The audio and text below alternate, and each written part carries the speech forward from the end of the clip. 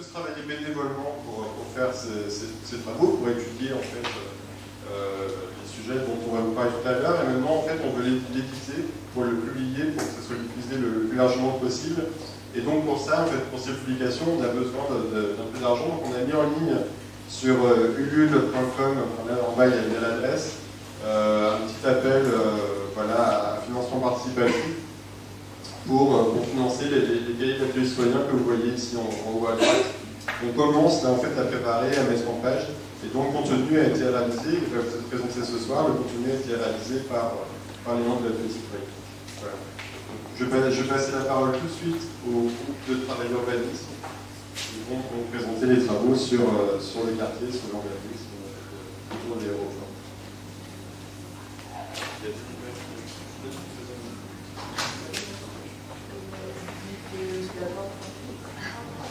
Euh, euh, donc euh, je vais prendre la parole, mais voilà. On va marcher un peu, sous forme de dialogue. On avait prévu 20 minutes, en fait il faut faire que 10 minutes, donc il va sûrement manquer des choses sur ce travail qui est quand même assez dense.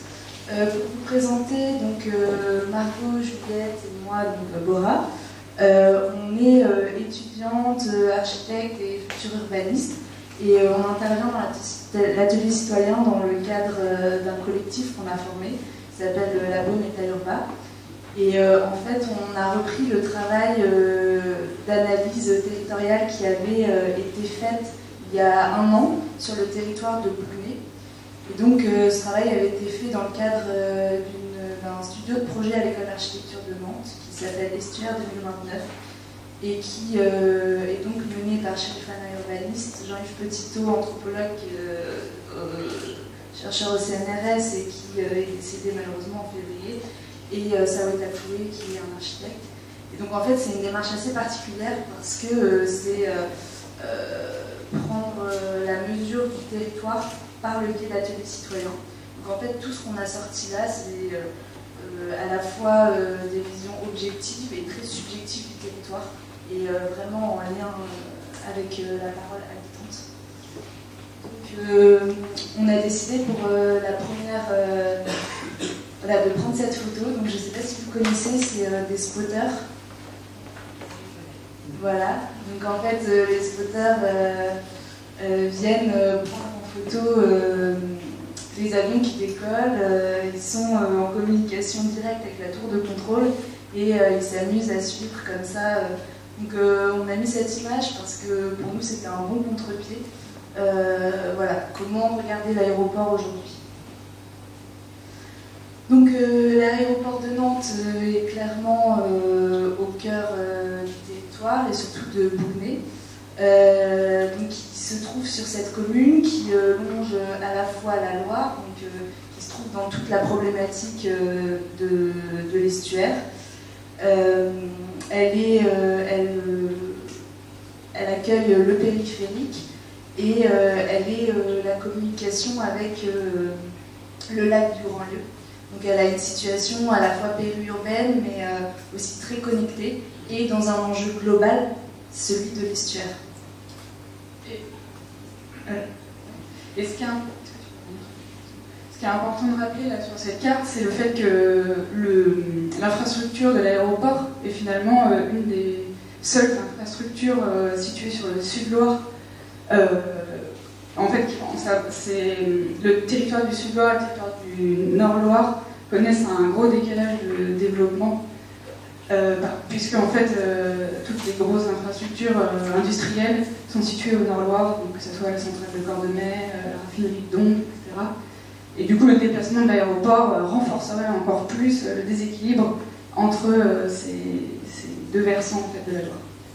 Alors il y a une ouverture aujourd'hui parce que le grand port maritime n'a plus de place en fait pour s'étendre au nord et il commence à implanter des projets comme près de Pain-Bœuf sur la zone du Carnet.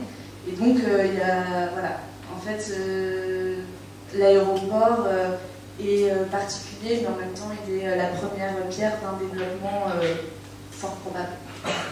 Donc le territoire de Bounay, comme on l'a vu, c'est un territoire contrasté, marqué de fortes identités. Donc là, on, vous a pris en fait des photos assez, assez significatifs. Donc on a les pêcheries Loire, on a la Roche-Balu qui est une carrière, une ancienne carrière qui a été réhabilitée en parc. On a le centre-bourg et puis on a la zone de Cheviré qui est le port à bois. Donc là on voit qu'il y a des identités assez fortes et assez marquées.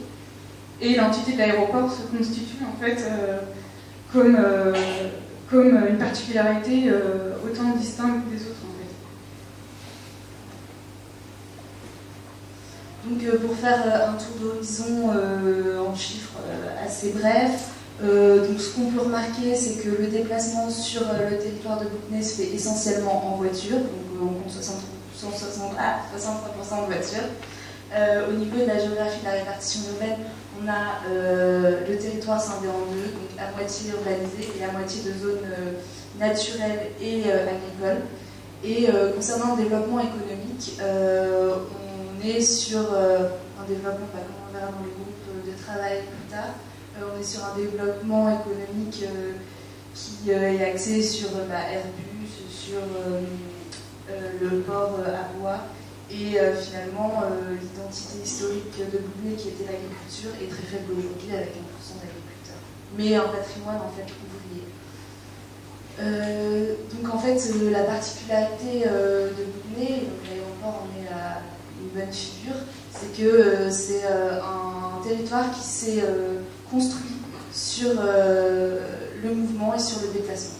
Donc, à titre d'exemple, on fait un bref historique, donc en 1700-1920, on a le trafic fluvial. Donc Bougnay est tourné vers la Loire. Elle se développe sur les coteaux, du coup, parallèle à cet axe à cet axe de Loire. Ensuite, en 1876, apparaît le trafic ferroviaire Nantes-Pornic du coup euh, toujours euh, un développement de communication euh, parallèle à la Loire. en 1928 donc, arrive le trafic aérien qui du coup lui vient se mettre donc, en dehors de ce développement et vient complètement bouleverser en fait bah, l'avenir territorial avec la création d'une gare à l'aérogare euh, en 1950, on a le trafic maritime euh, qui s'intensifie et qui s'industrialise avec euh, la création du grand port, du port à bois. Et pour finir, on a, on a le trafic routier du coup avec la création du périphérique et le pont de Cheviré en 1991. Et euh, aujourd'hui et à venir, on a euh, une volonté de renforcer le trafic euh, piétonnier et une volonté d'étendre le trafic du tramway. Excusez-moi, la zone verte, c'était quoi? Et ça, c'est les... Ouais, les préfets.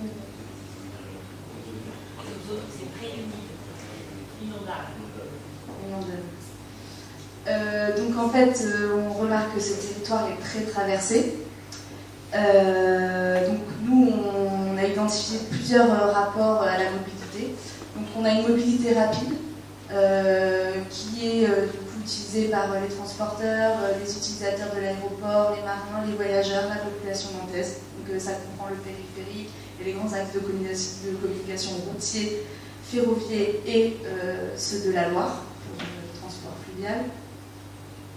Ensuite, on a une mobilité moyenne qui concerne du coup les nouveaux habitants qui travaillent euh, ailleurs euh, dans la métropole nantaise, euh, les travailleurs locaux, les itinérants. Il y a beaucoup, on est dans une zone périurbaine, du coup, il y a des personnes itinérantes et les utilisateurs de services. voilà. Et pour finir, on a les mobilités tous qui concernent les anciens habitants, les retraités, les promeneurs et surtout les habitants qui travaillent et habitent à proximité. Euh, donc finalement, euh, quand on vient euh, superposer toutes ces mobilités, mobilités lentes, moyennes et rapides, on se rend compte qu'il y a une, diversité de trajectoires, mais aussi une diversité d'habitants. Donc finalement, en fait, malgré toute cette mobilité, on s'est rendu compte que les personnes se croisaient très peu et qu'il y avait un peu, enfin, que ces mobilités formaient des sortes de mondes parallèles et surtout elles venaient scinder le territoire de manière géographique euh, en, venant euh, former euh, ce qu'on nous on a appelé des îles. Et du coup, là, comme on peut le voir là, l'aéroport fait partie de cette mosaïque Donc dans, les, dans, ces insularités, on a les insularités résidentielles qui concernent Bougnay-Bourg et, le, et avec les 19 lieux On a tout ce qui est insularité industrielle et d'infrastructure, dont l'aéroport. on a aussi des insularités de loisirs et de services. Donc voilà, c'est la carte des insularités. Et si on superpose du coup les moyens de communication, on se rend compte que euh, voilà, donc euh, cerne euh, clairement le territoire. Et voilà, donc entre ces espaces, on a un espace blanc. Donc ces cet espace, on l'a appelé l'espace liquide, donc qui est aujourd'hui une frontière, mais qui a aussi l'opportunité de jouer un autre rôle et donc, on a essayé d'identifier euh, quel était euh, cet espace liquide. Donc, c'est euh, ce qu'on peut appeler un paysage en friche, c'est-à-dire pas entretenu par la main de l'homme. donc, ça comprend Natura 2000, les prairies humides, le grand projet de forêt urbaine, les carrières, les zones agricoles, les donc on a aussi fait des itinéraires, donc ça c'est juste à titre d'exemple pour vous montrer d'autres types de frontières. Donc ça c'était un itinéraire avec une personne de Port-la-Vigne nous a montré cette vision-là du territoire. Et ensuite, on a fait un itinéraire 100 mètres plus loin avec une personne, un docker, qui travaillait euh, sur le port à bois. Et en fait, ces personnes-là se rencontreront jamais. Et elles habitent à 100 mètres l'une de l'autre et elles n'ont pas du tout la même vision du territoire.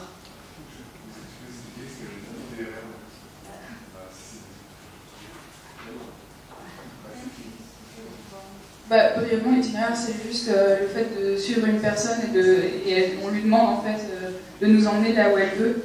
Et du coup, elle nous raconte son territoire euh, à travers la marche et à travers toutes les histoires qu'elle nous raconte durant cette traversée. Et donc ça, c'était une carte qu'on a retirée d'un atelier public où on a demandé à chacun en fait de tracer ses trajectoires au quotidien.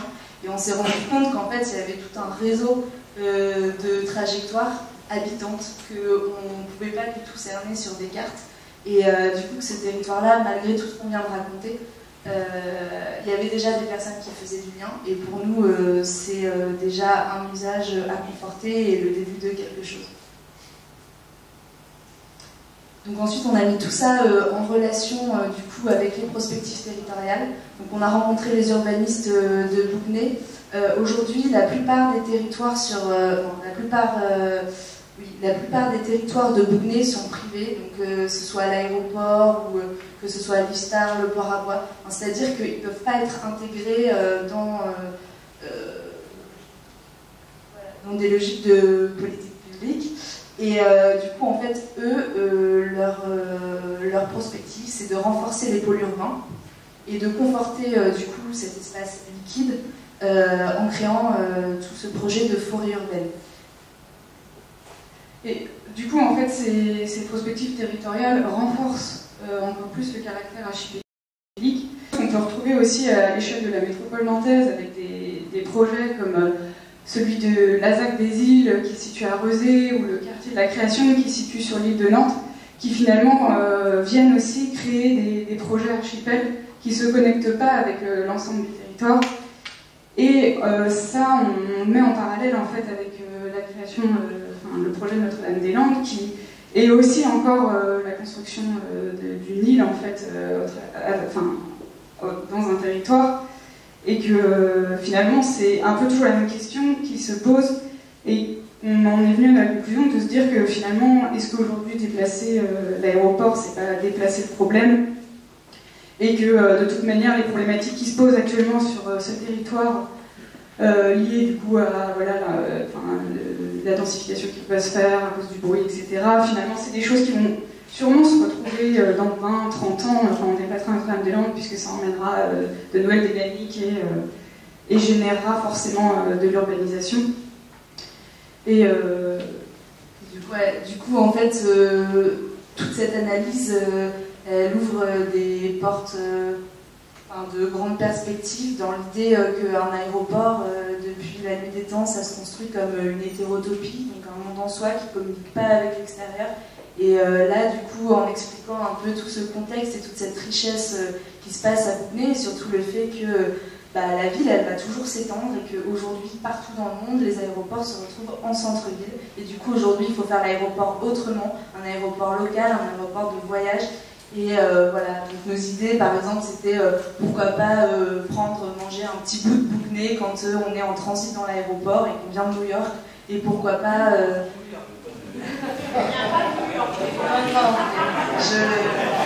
Je joue perspectives.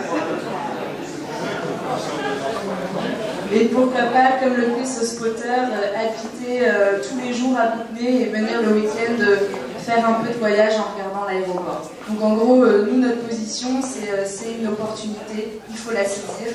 Et commençons la reconnaissance et la rencontre entre l'aéroport et son territoire.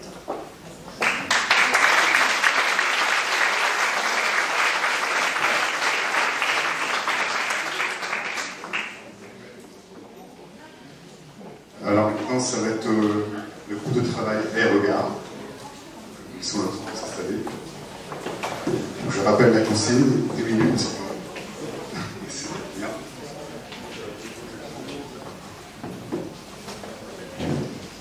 Rebonsoir.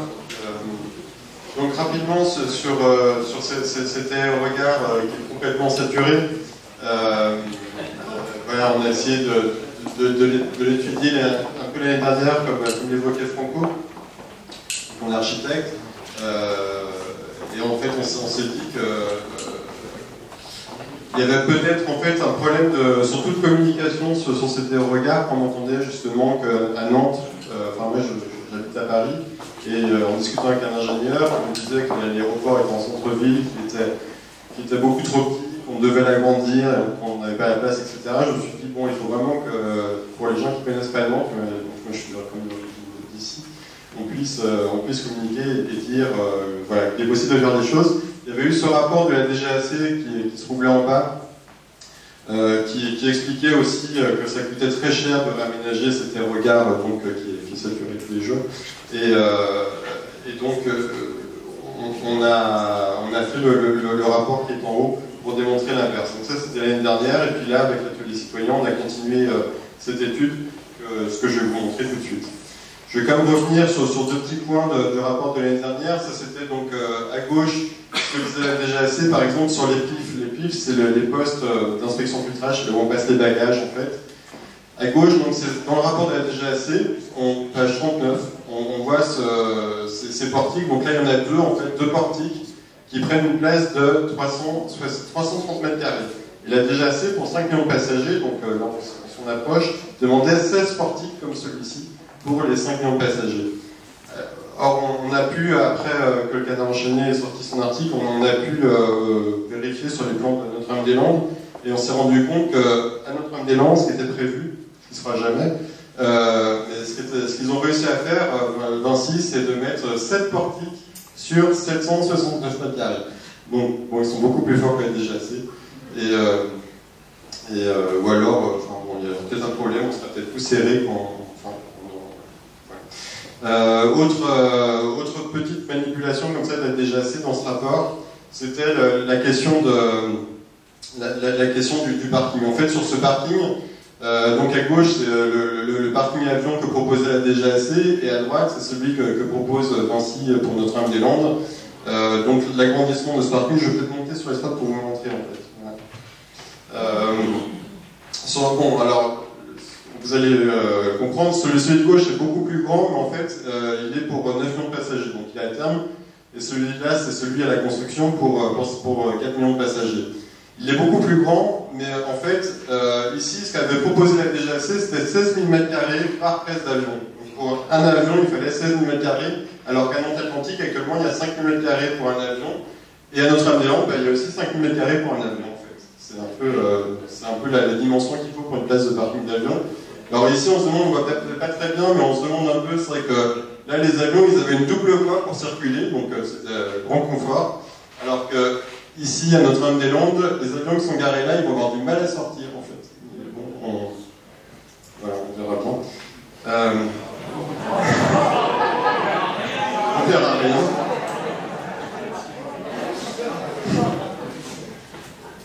Et euh, ah pardon. dans, j'ai mauvaise transition. Ce, alors, ce, que, ce que faisait la DGAC, donc elle agrandissait tout, faisait des, des places immenses pour les avions de 7 mètres carrés. Et en fait, euh, a trouvé la, la, bonne idée de, démolir toute la partie là, qu'on voit, bah, voilà, c'est pratique. Toute cette partie-là, euh, c'était démoli. Donc là, c'est la météo, là, c'est l'entretien des avions, la caserne de pompiers, tout ça en fait a été, démoli. Ça, se situe ici actuellement. Et pour, pour faire cette, ce, ce, grand parking, on garde juste la tour de contrôle qui se trouve ici, qui est là. Et puis un peu plus loin, voilà, euh, donc euh, par ici, on a, le chenil en fait, le fameux chenil qui, euh, devait être aussi démoli pour faire la, pour faire la pas la piste, le, la, voie de, de, parking. Et, ce chenil, la DGAC avait légèrement surévalué, enfin à notre avis avait un peu surévalué le prix, avait chiffré ça pour 600 000 euros. Voilà, donc on a cherché des, chenilles à 600 000 euros, bah, ça donne à peu près ça.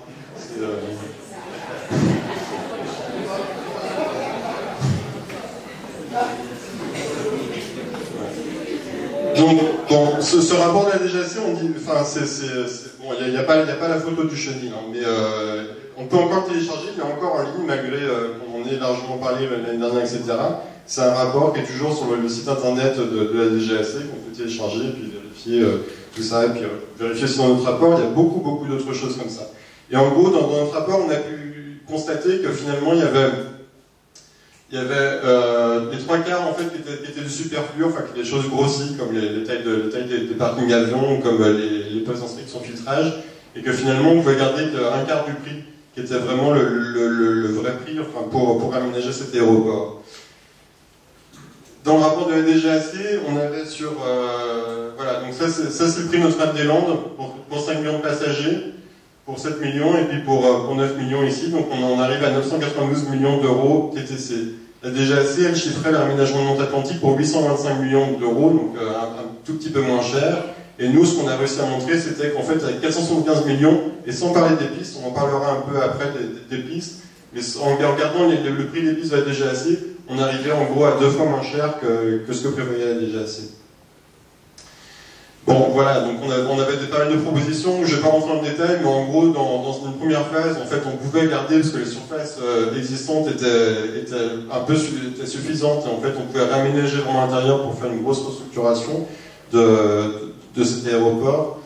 Et puis, euh, des extensions après pour 7 millions, 9 millions de passagers, on, on peut l'étendre parce qu'on voit qu'il y a quand même pas mal de place autour. Il y a le chenil qui est beaucoup, beaucoup plus loin, donc on peut, euh, on peut encore s'étendre tout autour on avait le, parking, enfin on pouvait même agrandir le parking, ce serait pas nécessaire, mais on, a la place de l'agrandir sans, sans, sans, toucher à rien. Et puis bon, il y a, eu cet article du Canard en, septembre, octobre dernier qui, montrait que finalement c'était pas la peine d'agrandir tout de suite parce qu'on avait euh, prévu à Notre-Dame-des-Landes beaucoup moins de, postes d'enregistrement, beaucoup moins de, de postes d'inspection filtrage, quelques passerelles en moins, etc. Enfin qu'en gros, globalement, l'aéroport était plus petit. La seule chose qui était vraiment plus grande dans cet aéroport, c'était le centre commercial. Alors là, on a doublé de surface. On fait un grand centre commercial, mais avec des petits, euh, des, petits euh, etc. Donc plus petit que l'existant.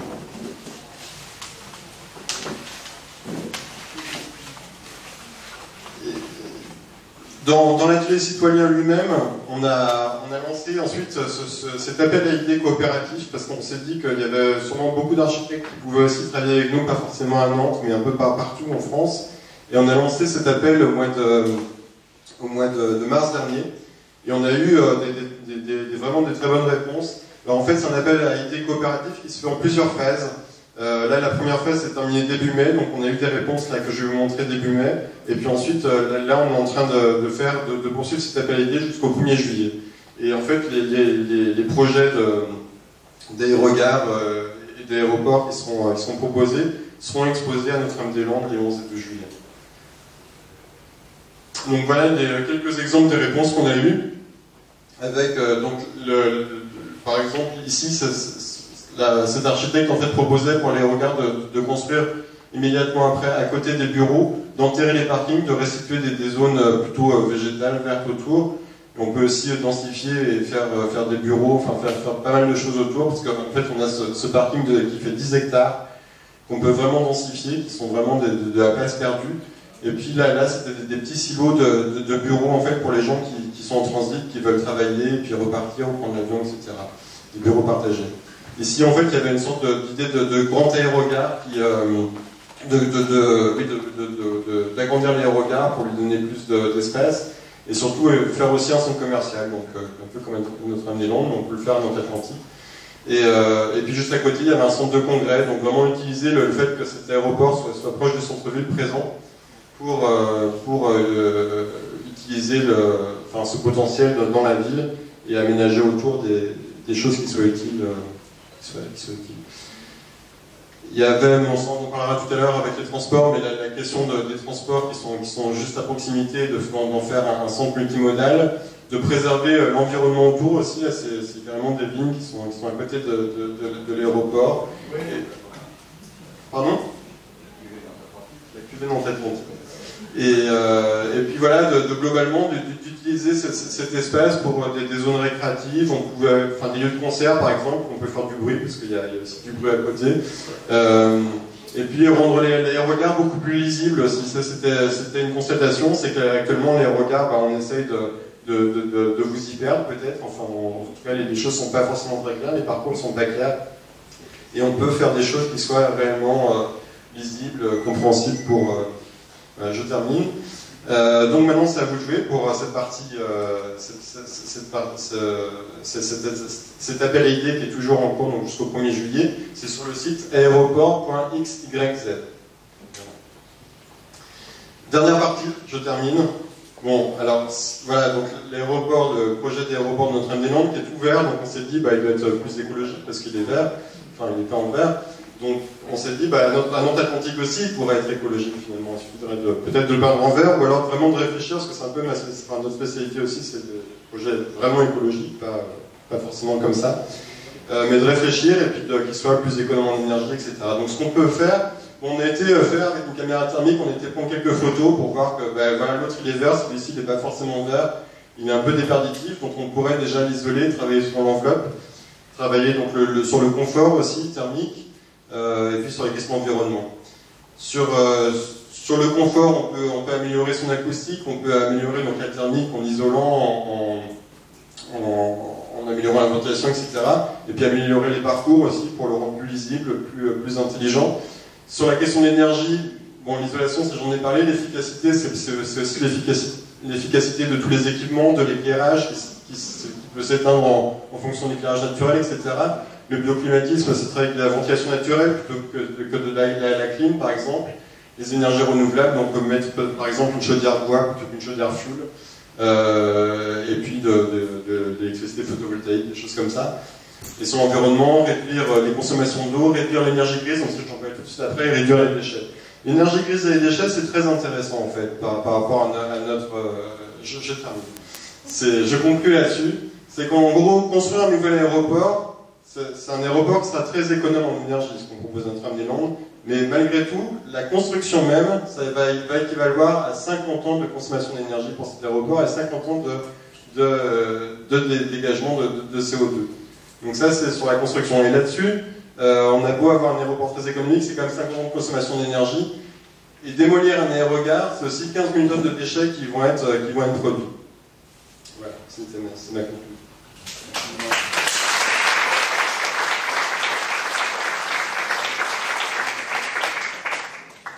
En même temps, nous, accueillons euh, Jean-Marie Rapier, qui va vous présenter la piste, les résultats du groupe de travail sur la piste.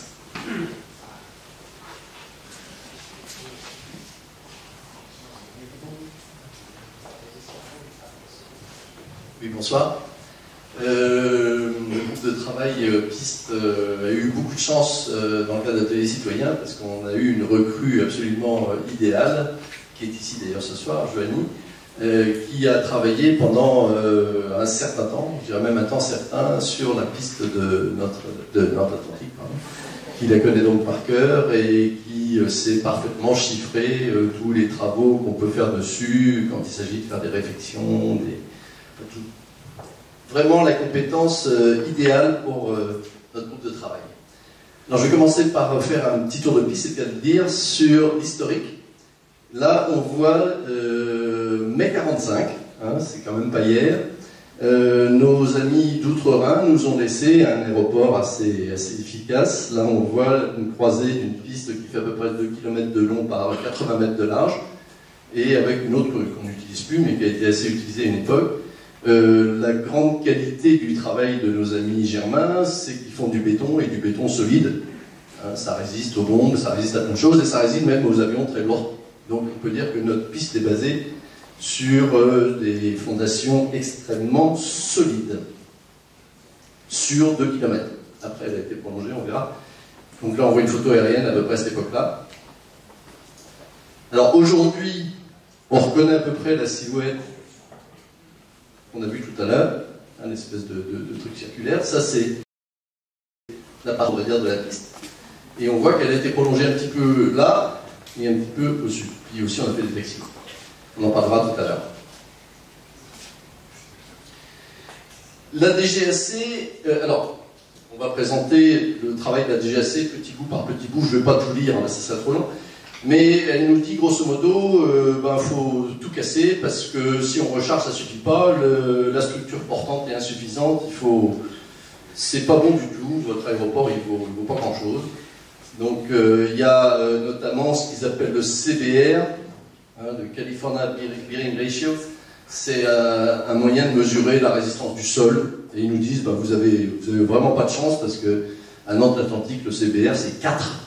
4, c'est grosso modo un, marécage. Quoi. Euh, et ils ont même euh, poussé le piste jusqu'à analyser sur toute la longueur, entre 0 et 600, c'est toujours 4, 4, 4, 4, 4. Donc toute la longueur, c'est 4. C'est plus simple, hein et les taxiways, pareil. Alors, quand on regarde les épaisseurs qu'il faut retenir pour construire quand on a des CBR très faibles, il ben, faut des trucs extrêmement épais. Un CBR de 6, c'est déjà mieux. Un CBR de 10, voilà. Vous avez compris. Et ben, nous, on pense qu'on pourrait s'attendre à un CBR de l'ordre de 10, sauf peut-être les 300 mètres du nord, qu'on a rajouté à la fin, et les 600 mètres du sud. Mais partout où en dessous il y a du béton, c'est clair qu'on a une zone extrêmement solide. Et voilà, donc on a des doutes extrêmement sérieux sur le CBR de 4 tenu par la DGAC, sauf peut-être aux extrémités, mais ça on en parlera tout à l'heure. Donc notre proposition, bah, c'est qu'il n'y a pas besoin de refaire tout de fond en comble. Parce qu'eux, ils veulent tout casser, donc ça coûterait 200, pendant par 270 millions de tout casser. Euh, qui connaît donc parfaitement la piste, pense qu'un simple resurfaçage, éventuellement renforcé euh, dans les 300 mètres au nord et 600 mètres du sud, ça suffirait largement. Alors la DGAC dit aussi, ben, c'est bien l'Atlantique, mais il faudrait prolonger la piste. Elle fait que 2900 mètres de long, c'est pas assez. Il faut pouvoir accueillir l'Airbus 380, euh, tout, tout ça. Et puis il faudrait aussi l'élargir, parce que ben, pour un quadrilatère, il faut 60 mètres de large. Alors, évidemment, on n'est pas très d'accord, parce que les quadrilatères, c'est vrai qu'ils sont venus à Nantes, hein, il y a eu des 747, j'ai moi-même décollé de Nantes en 747, je m'en souviens très bien. Euh, mais par contre, ils ont disparu. Il n'y a plus de quadrilateurs à Nantes. Ça fait, on a regardé les statistiques en 2013 et 2014. Il n'y a pas eu l'ombre d'un 747, ni d'un 777, ni d'un 340. Maintenant, euh, on a des avions beaucoup plus petits. Et donc, bah, la, piste de, 1900 mètres, est très largement suffisante. Euh, même pour 99% du trafic actuel, 2400 mètres suffisent. Parce que 99% du trafic actuel, c'est des Airbus 320, c'est des 737, des petits avions. Et 2400 mètres suffisent largement. Donc, euh, et puis, l'argument final, c'est celui qui est en bas. Euh, si vous regardez ce qu'ils peuvent faire à Notre-Dame-des-Landes, ils prévoient de prolonger à 3600 mètres en 2052. Il y a peu. On attend de réfléchir. Alors, un des discours aussi, c'est de dire, ben, les gros porteurs, de temps en temps, il faut les dérouter.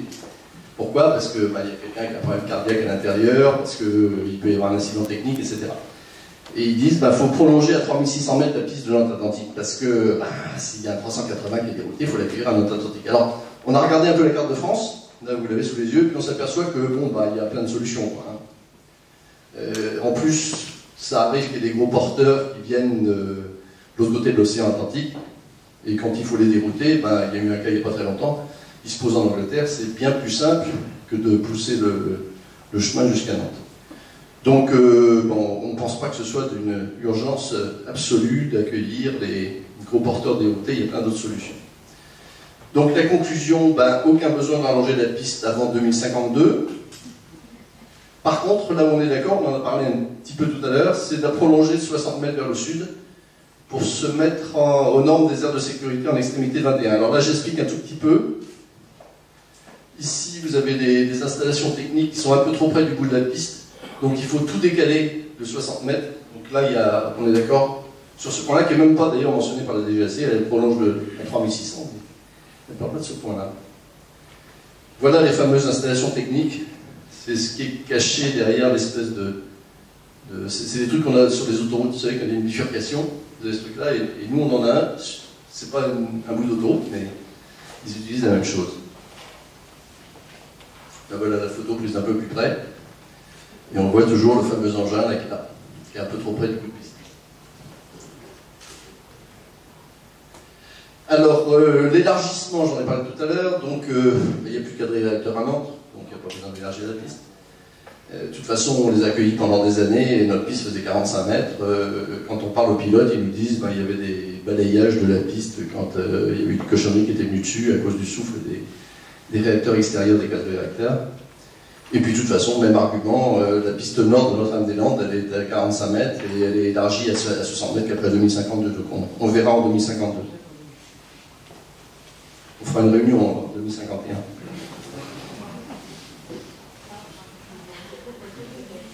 Alors là, euh, il y aura peut-être besoin de faire des dégagements de 5 mètres de large si les 350 ou 787 777 viennent à Nantes en quantité significative. Ça, on ne peut pas dire. A priori, c'est pas trop vraisemblable. Euh, on verra en 2023, mais c'est des travaux qui sont très rapides à effectuer. C'est juste des dégagements, c'est pas une piste solide, c'est juste des dégagements. Et il faudra vérifier que l'anthrax des réacteurs pose problème par rapport à notre largeur de piste actuelle. Alors le déplacement du taxiway, euh, la DGAC dit ben, votre taxiway il est bien, mais euh, s'il y a deux très gros porteurs qui se croisent, ils vont s'accrocher d'aide. Alors bon, euh, c'est vrai, c'est vrai, mais le seul problème c'est qu'il n'y a même pas un gros porteur qui vient très gros porteur qui vient Pour que deux se croisent, il y en ait au moins un. Et bon. Voilà, donc la probabilité est rigoureusement égale à zéro. C'est de la statistique. Hein. Par contre, là il y a une vérité, c'est que euh, on a trouvé un texte, des normes internationales disent qu'il faut que l'axe du taxiway soit à 182 mètres 50 euh, de l'axe de la piste. Et nous, on a un gros problème parce qu'on est à 180 mètres. Donc, il faut élargir de 2,50 m. Alors, on l'a mis dans le chiffrage. Voilà, nos propositions, élargir le taxiway côté regard de 2,50 m. Sinon, aucun besoin d'élargir la piste ou de le taxiway. Alors, la bosse. Alors, la bosse, qui n'a pas entendu parler de la bosse de la piste de Nantes-Atlantique Quand on lit les textes de la DGAC, on dit, mais c'est affolant, c'est les montagnes russes, ce truc. Et alors, ils disent, il bah, faut tout casser parce qu'il y a trop de creux de bosse. Bon, alors ce que vous avez là, c'est le profil de la piste. Effectivement, ça fait des creux et des bosses. L'échelle verticale est un peu plus grande que l'échelle horizontale. Hein, donc euh, c'est un peu moins accentué que ça. Et quand on discute avec Joanie, il dit ben, lui, il a déjà refait la piste plein de fois, on lui a jamais demandé de, combler les trous. Bon, s'ils veulent le faire, on va le faire, et d'ailleurs, c'est ce qu'on a décidé d'intégrer dans notre, dans calcul on le rendra conforme. Les bretelles. Les bretelles, c'est utile pour les pantalons, mais c'est aussi utile dans les aéroports, parce que ça permet de sortir de la piste. Alors nous, on a des bretelles un petit peu anciennes, à Nantes-Atlantique. On ne peut pas passer vite. Si on a une euh, bretelle bien faite, ce qui s'appelle un exit rapide, euh, l'avion peut sortir à 50 nœuds, c'est-à-dire 90 km/h, donc euh, là, les pilotes nous ont dit que ça serait une bonne idée, effectivement, de mettre des bretelles rapides. Donc on se dit qu'on va le faire. C'est pas cher. Les parkings. Franco en a parlé, non, je dis Rivan en a parlé tout de suite. La DGSC suggérait qu'à Nantes-Atlantique, on, mette des grands, grands postes. On a vu qu'à Notre-Dame-des-Landes, il y en avait que 20. alors qu'on en a déjà 23 ici, donc euh, c'est pas vraiment urgent. Euh, la DGAC prévoyait quand même d'en mettre 36 ici. Mais par contre, il prévoyait quand même 590 000, 590 000 m2 pour 36 postes, c'est des gros postes, c'est que des postes de Airbus 380. Les Airbus 380, ils viennent jamais ici.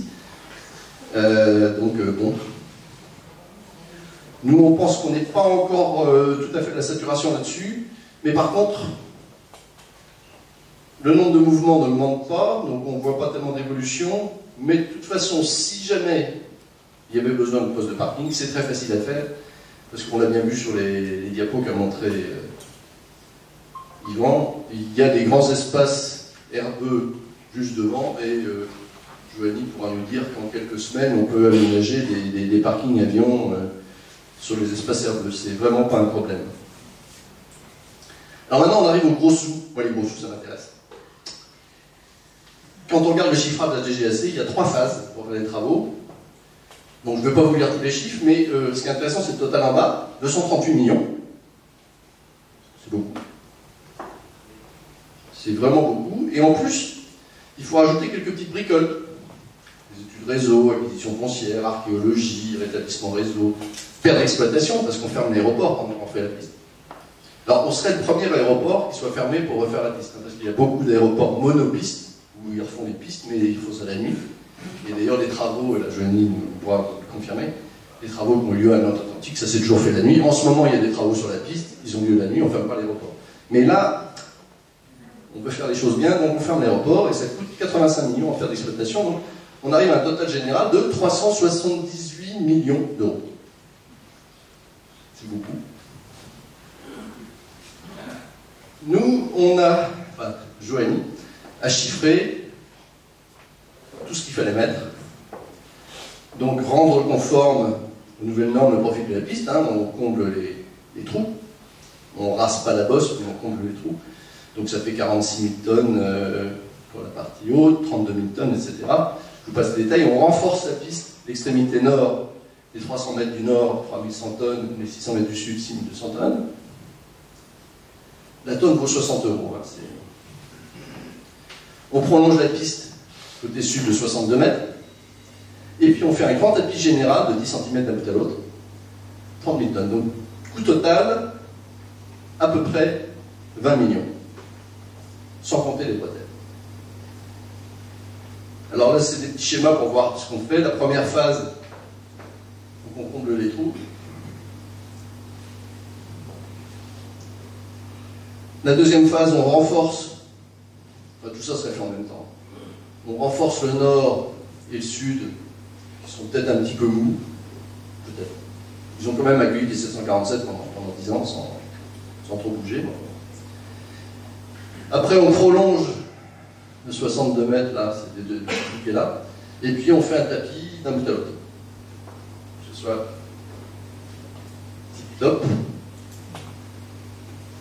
Et, comme je vous disais tout à l'heure, les 2,50 m du taxiway, ben voilà, on élargit de 2,50 m le taxiway, et ça fait 1 615 000 euros.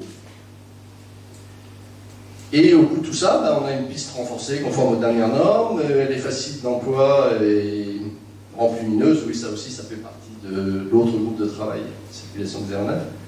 Une piste évolutive, on peut faire des stationnements supplémentaires quand il y a besoin. Et on arrive à un chiffrage maximum de 25 millions d'euros. Donc c'est un petit peu moins que 360. Euh, voilà.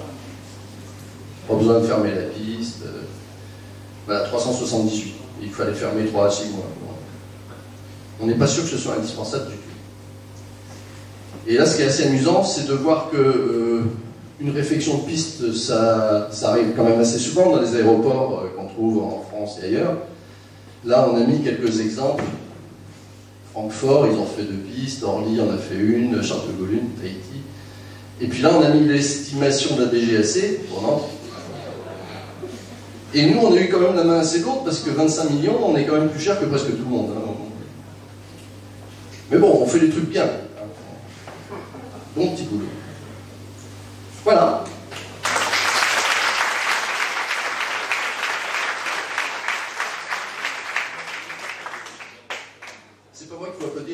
c'est lui qui a fait tout le boulot, moi je te n'importe plus, c'est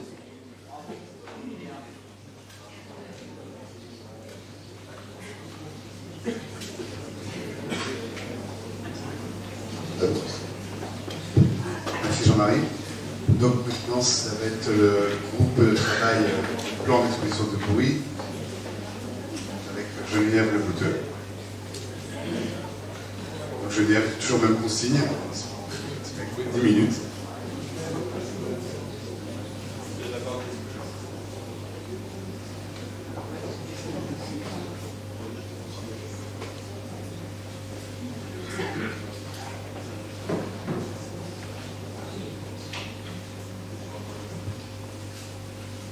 Bonsoir. Donc, moi, je vais vous parler du, bruit et du plan d'exposition au bruit. Euh, donc, euh, euh, le diaporama est construit en deux parties. quel est le bruit aujourd'hui à Nantes-Atlantique et quel sera le bruit demain, dans très longtemps, puisque le travail prévisionnel est issu des études demandées par la commission du dialogue euh, qui demandait aux horizons 5, euh, 7 et 9 millions de passagers. Je ne sais pas si vous vous rappelez. Et donc euh, là, dans ce groupe de travail, on n'est pas parti de rien.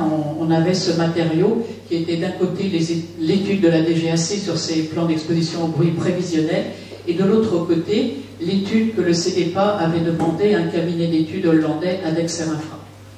Donc déjà, le bruit observé aujourd'hui euh, c'est pas nous qui le disons, c'est Nantes Métropole qui a des cartes de 2008 mais qui ne les actualise pas.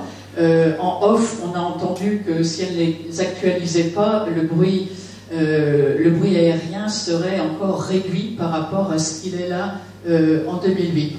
Donc vous voyez que si on, fait, on, fait attention au bruit et on essaye de le diminuer pour les Nantais, euh, il y a euh, en priorité à travailler sur le bruit routier euh, qui touche 336 000 personnes, en tout cas en 2008, dont 16 900 avec un bruit supérieur à 70 décibels.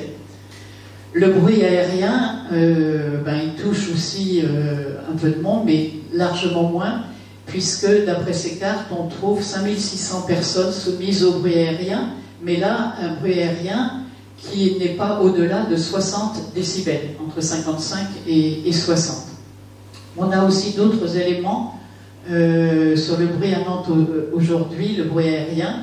Euh, c'est le plan de prévention du bruit dans l'environnement qui date de juin 2012 et qui chiffrait à peu près à 4900 euh, le nombre de personnes touchées par le bruit aérien. Pareil, le plan de gène sonore actuel autour de 4400. Il faut rester à celle d'avant. Euh, non, non, là tu avances alors qu'il faut reculer. Voilà. Euh, et puis, euh, ben, j'ai laissé le nombre de 42 000 qui est souvent lancé comme ça à propos du bruit aujourd'hui sur Nantes. à quoi il correspond ce 42 000 Il correspond à la zone D, hein, qui est la zone la plus grande. Et zone D, en fait, euh, c'est 55, euh, 50 euh, dB, entre 55 et 50 décibels. Donc, dans un milieu urbain, un bruit qui est relativement acceptable. ce qui est intéressant aussi sur le bruit à Nantes aujourd'hui, c'est le calcul qu'on a demandé à Adex Infra pendant qu'on avait ce cabinet pour calculer les PEB prévisionnels c'est lui demander, ben, avec les chiffres réels du trafic de 2012, qu'est-ce que ça donne? Et donc, c'est la carte que vous avez à droite qui euh, représente le bruit avec toutes ces zones euh, tel qu'il a été euh, observé sur le trafic de 2012. Et on le compare au BEB qui est en vigueur, qui avait été calculé en 2003 par la DGAC pour un horizon 2010. Et qu'est-ce qu'on constate très vite C'est qu'il avait été à l'époque surestimé. Euh, pourquoi il avait été surestimé? Eh ben, Essentiellement parce que la DGAC avait pensé euh, qu'à l'horizon 2010, on aurait 75 000 mouvements commerciaux et qu'en 2012, on n'en a eu euh, que 48 000. On est à peu près autour de ce chiffre encore aujourd'hui. On passe à la deuxième partie, donc le futur. Donc pour le futur, je vous ai dit, c'était plusieurs horizons on, a fait les comparaisons sur l'horizon 2030-2032, euh, puisque nous, on avait anticipé le travail, on avait demandé ça à Adex Infra. Euh, un peu de technique. Quels sont les paramètres clés euh, d'un plan d'exposition au bruit? Le premier paramètre très important, c'est l'évolution technique des avions. Hein, de savoir si les nouveaux avions qui arrivent maintenant et qui remplacent les anciens feront autant de bruit, moins de bruit, plus de bruit. Donc il faut s'intéresser aux appareils nouveaux qui, arrivent et deuxièmement à la vitesse de renouvellement de la flotte. Deuxième euh, gros paramètre, c'est les hypothèses sur l'emport. Un emport, c'est le nombre moyen de passagers par avion. Euh, on a vu tout à l'heure l'erreur qu'avait commise la DGAC dans son calcul de PEB en pensant qu'il y aurait 75 000 mouvements. Et comment ça se fait qu'ils ont pensé ça? C'est qu'ils n'avaient pas anticipé que l'emport allait évoluer en, en augmentant régulièrement et fortement, pas seulement à Nantes, c'est vrai partout. Donc euh, l'hypothèse d'emport est très importante parce que selon l'hypothèse qu'on prend, eh on va projeter euh, un certain nombre de mouvements plus ou moins importants.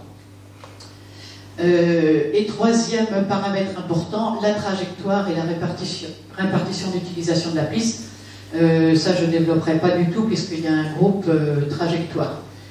Revenons au premier paramètre, l'évolution technologique. Donc, euh, on a des tendances lourdes, c'est euh, moitié moins de bruit tous les 10 ans depuis les années 70. Donc, ce graphique-là euh, le présente. Et ce qui est intéressant, c'est qu'aujourd'hui, on est dans ce qu'on appelle techniquement le chapitre 14, là, des avions qui arrivent maintenant en remplacement des autres et qui aussi ont une très bonne euh, progression dans la qualité euh, sonore. alors maintenant, pour le renouvellement de la flotte, comment on peut savoir à quelle vitesse euh, les, avions vont être renouvelés? Il faut savoir que l'espérance de vie d'un avion en Europe, c'est de 15 à 20 ans. C'est pas énorme. Après, ils sont en général vendus dans d'autres pays qui prennent des avions d'occasion et euh, les avions sont renouvelés environ tous les 15-20 ans. Et sur ce graphique, vous voyez euh, que, euh, vous ne voyez pas forcément les dates, mais à partir de, 2020, on la partie bleue au milieu, c'est les nouveaux avions dont je vous parle. à partir de 2020, il y en aura déjà de l'ordre de 15%. Et nous, notre horizon 2030, où on a comparé le, travail euh, des GAC et le travail euh, ADEX et Infra, là, c'est, euh, d'après ce graphique qui vient de chez les Anglais, c'est pratiquement 40%. Donc, on n'a pas pris des, hypothèses aussi fortes avec ADEX et Infra, on ne connaissait pas ce graphique à l'époque, mais voilà, ça peut être encore plus, plus fort. on a aussi regardé ce travail-là quelle était la flotte en 2013 c'était vraiment les observations euh, de la flotte réelle à Nantes. Et vous voyez qu'on les a classés par code couleur entre les plus bruyants en rouge et les moins bruyants en vert. Et euh, en fonction des changements des nouveaux appareils qui arrivent, quelle sera la flotte probable, très probable en, 2030 Et vous voyez qu'on arrive à des verts et encore plus verts que verts, euh, vert foncé. Et, donc au total, 53% de la flotte très peu bruyant et 25% peu bruyant. Euh, donc la, conclusion importante, c'est que si on fait un calcul de PEB à un horizon lointain, comme là euh, pour 2030-2032, euh, il faut prendre en compte ce, progrès technique des nouveaux appareils, ce que la DGAC n'a pas voulu faire. Ensuite, on parle des hypothèses sur l'emport. Alors, quelles sont les hypothèses DGAC euh, La DGAC, elle, elle est partie directement de la croissance du nombre de passagers telle qu'elle la prévoit, et elle a dit qu'il y a une loi qui dit la croissance du nombre de mouvements, c'est la moitié la croissance du nombre de passagers. Et on a appelé la loi Schwartz. C'est ça, loi, oui, c'est, voilà, ils ils nous l'ont dit, voilà, ils nous l'ont affirmé, ils ont appliqué ça, Alors, tu peux revenir en arrière, voilà. Donc, on a appliqué cette loi, si cette loi existait, eh bien, euh, ce seraient euh, les tracés pointillés. Hein. Et on a regardé le tracé de Nantes, c'est la courbe rouge réelle, hein, rouge pas pointillé. Le tracé de l'ensemble des aéroports régionaux, c'est la courbe bleue.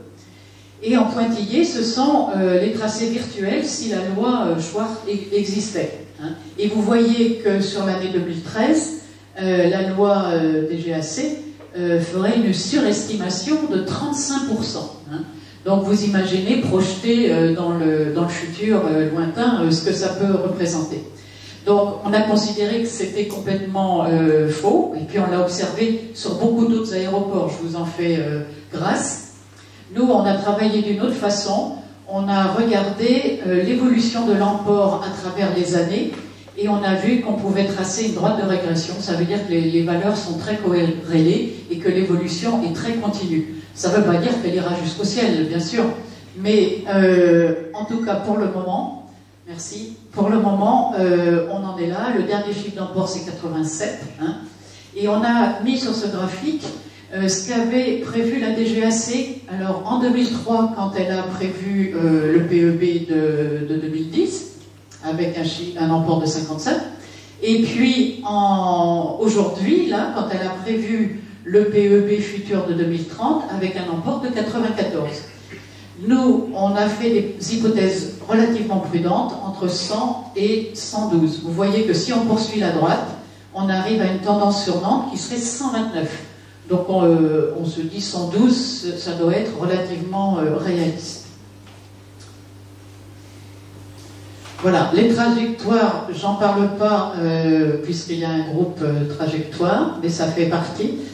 Et vous voyez, vous voyez là la comparaison des hypothèses qui ont été retenues pour les, PEB prévisionnels 2030-2032. hein.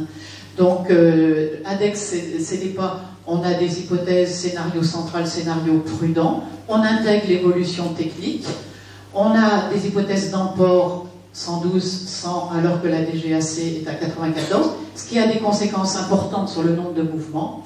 L'utilisation de la piste, c'est soit comme aujourd'hui, soit euh, un peu plus vers le nord, alors que la DGAC euh, charge beaucoup la barque pour faire passer plus d'avions sur Nantes. Voilà. Donc, au final, avec ces choix que vous avez vus résumés en trois colonnes, eh bien, ça a des conséquences très importantes, puisque euh, sur chacun des critères, ça majore les zones de bruit. Et toutes ces majorations se cumulent. Et au final, ça fait euh, des zones de bruit que le, triplées entre le résultat des GAC et le résultat ADEX Infra. Donc on ne peut pas dire que forcément ADEX Air Infra est, est- est tout bon et la DGAC est tout faux, mais on dit qu'avec une telle différence, il y a euh, vraiment matière à aller voir plus loin et on a voulu le, faire à, l'époque avec le CDPA et ça n'a pas été entendu. Voilà le, le triplement. Et euh, donc voilà ce que ça donne en résultat. Euh, 2030 DGAC et 2032 scénario prudent. hein. Euh, si on prend le scénario central, c'est encore réduit. Vous voyez qu'on a des images très très différentes de PEB. Euh, alors, pour terminer, euh, juste vous montrer que euh, ben, partout, on voit des zones de bruit qui diminuent. Donc, c'est suivi de façon très approfondie dans les aéroports parisiens où ils ont un, indicateur constant. À Londres, vous avez la courbe en gris que vous voyez peut-être pas très bien, qui montre le nombre de personnes qui vivent dans une zone de bruit de 57 euh, décibels. Et vous voyez en rouge le, nombre de mouvements qui a fortement cru et ensuite relativement stable. Toulouse, euh, vous voyez aussi que euh, on, dit que le, niveau de bruit est un niveau constant. Et dans d'autres pays, alors euh, Angleterre et États-Unis, dans Angleterre, c'est des données un petit peu anciennes, donc ce serait intéressant maintenant d'avoir les données plus récentes, mais vous voyez la très forte, enfin si vous arrivez à lire les chiffres, très forte diminution entre 98 et 2011 des zones euh, concernées par euh, le même niveau de bruit, hein, 57 dB là sur ce graphique. Et puis euh, ben, la lecture d'un article de Airport Noise Report qui dit que le fait que les zones de bruit rétrécissent malgré l'augmentation du trafic, avec des avions plus silencieux, bien connu aux US. Hein. Donc, conclusion, il faut aller plus loin. Nantes serait-il le seul aéroport où les zones de bruit augmenteraient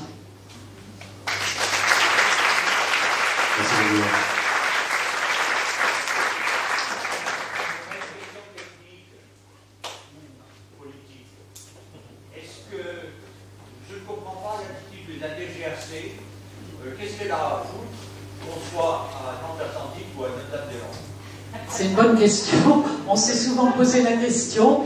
Moi, euh, on, a, toujours pensé que ce projet Notre-Dame-des-Landes était porté par certains politiciens, pour pas le nommer Jean-Marc Ayrault. Mais à force de, lire les choses de la DGAC et de les avoir aussi rencontrées, euh, ce qui nous est apparu, c'est qu'il y avait une très forte volonté de ces fonctionnaires-là de faire cet aéroport. Alors, comment ça peut s'expliquer? Peut-être parce que c'est le projet de leur vie, que c'est des, des, années et des années de travail pour un beau projet, le dernier aéroport qu'on va construire en France. Peut-être c'est ça. Peut-être aussi c'est la difficulté de penser qu'on a pu se tromper et qu'on s'enferme dans l'erreur. Euh, ça nous pose aussi question. Mais euh, c'est vrai que sur beaucoup de sujets, pas seulement là, mais sur d'autres, on l'a vu tout à l'heure sur l'aérogare, euh, ils chargent la barque et ils vont tellement loin que ça devient trop visible et on voit les mensonges. Et c'est trop étonnant, euh, surtout quand on considère que normalement un fonctionnaire a une certaine éthique. Et, voilà. Donc euh, on, est, on a les mêmes interrogations et quelques bouts de réponse.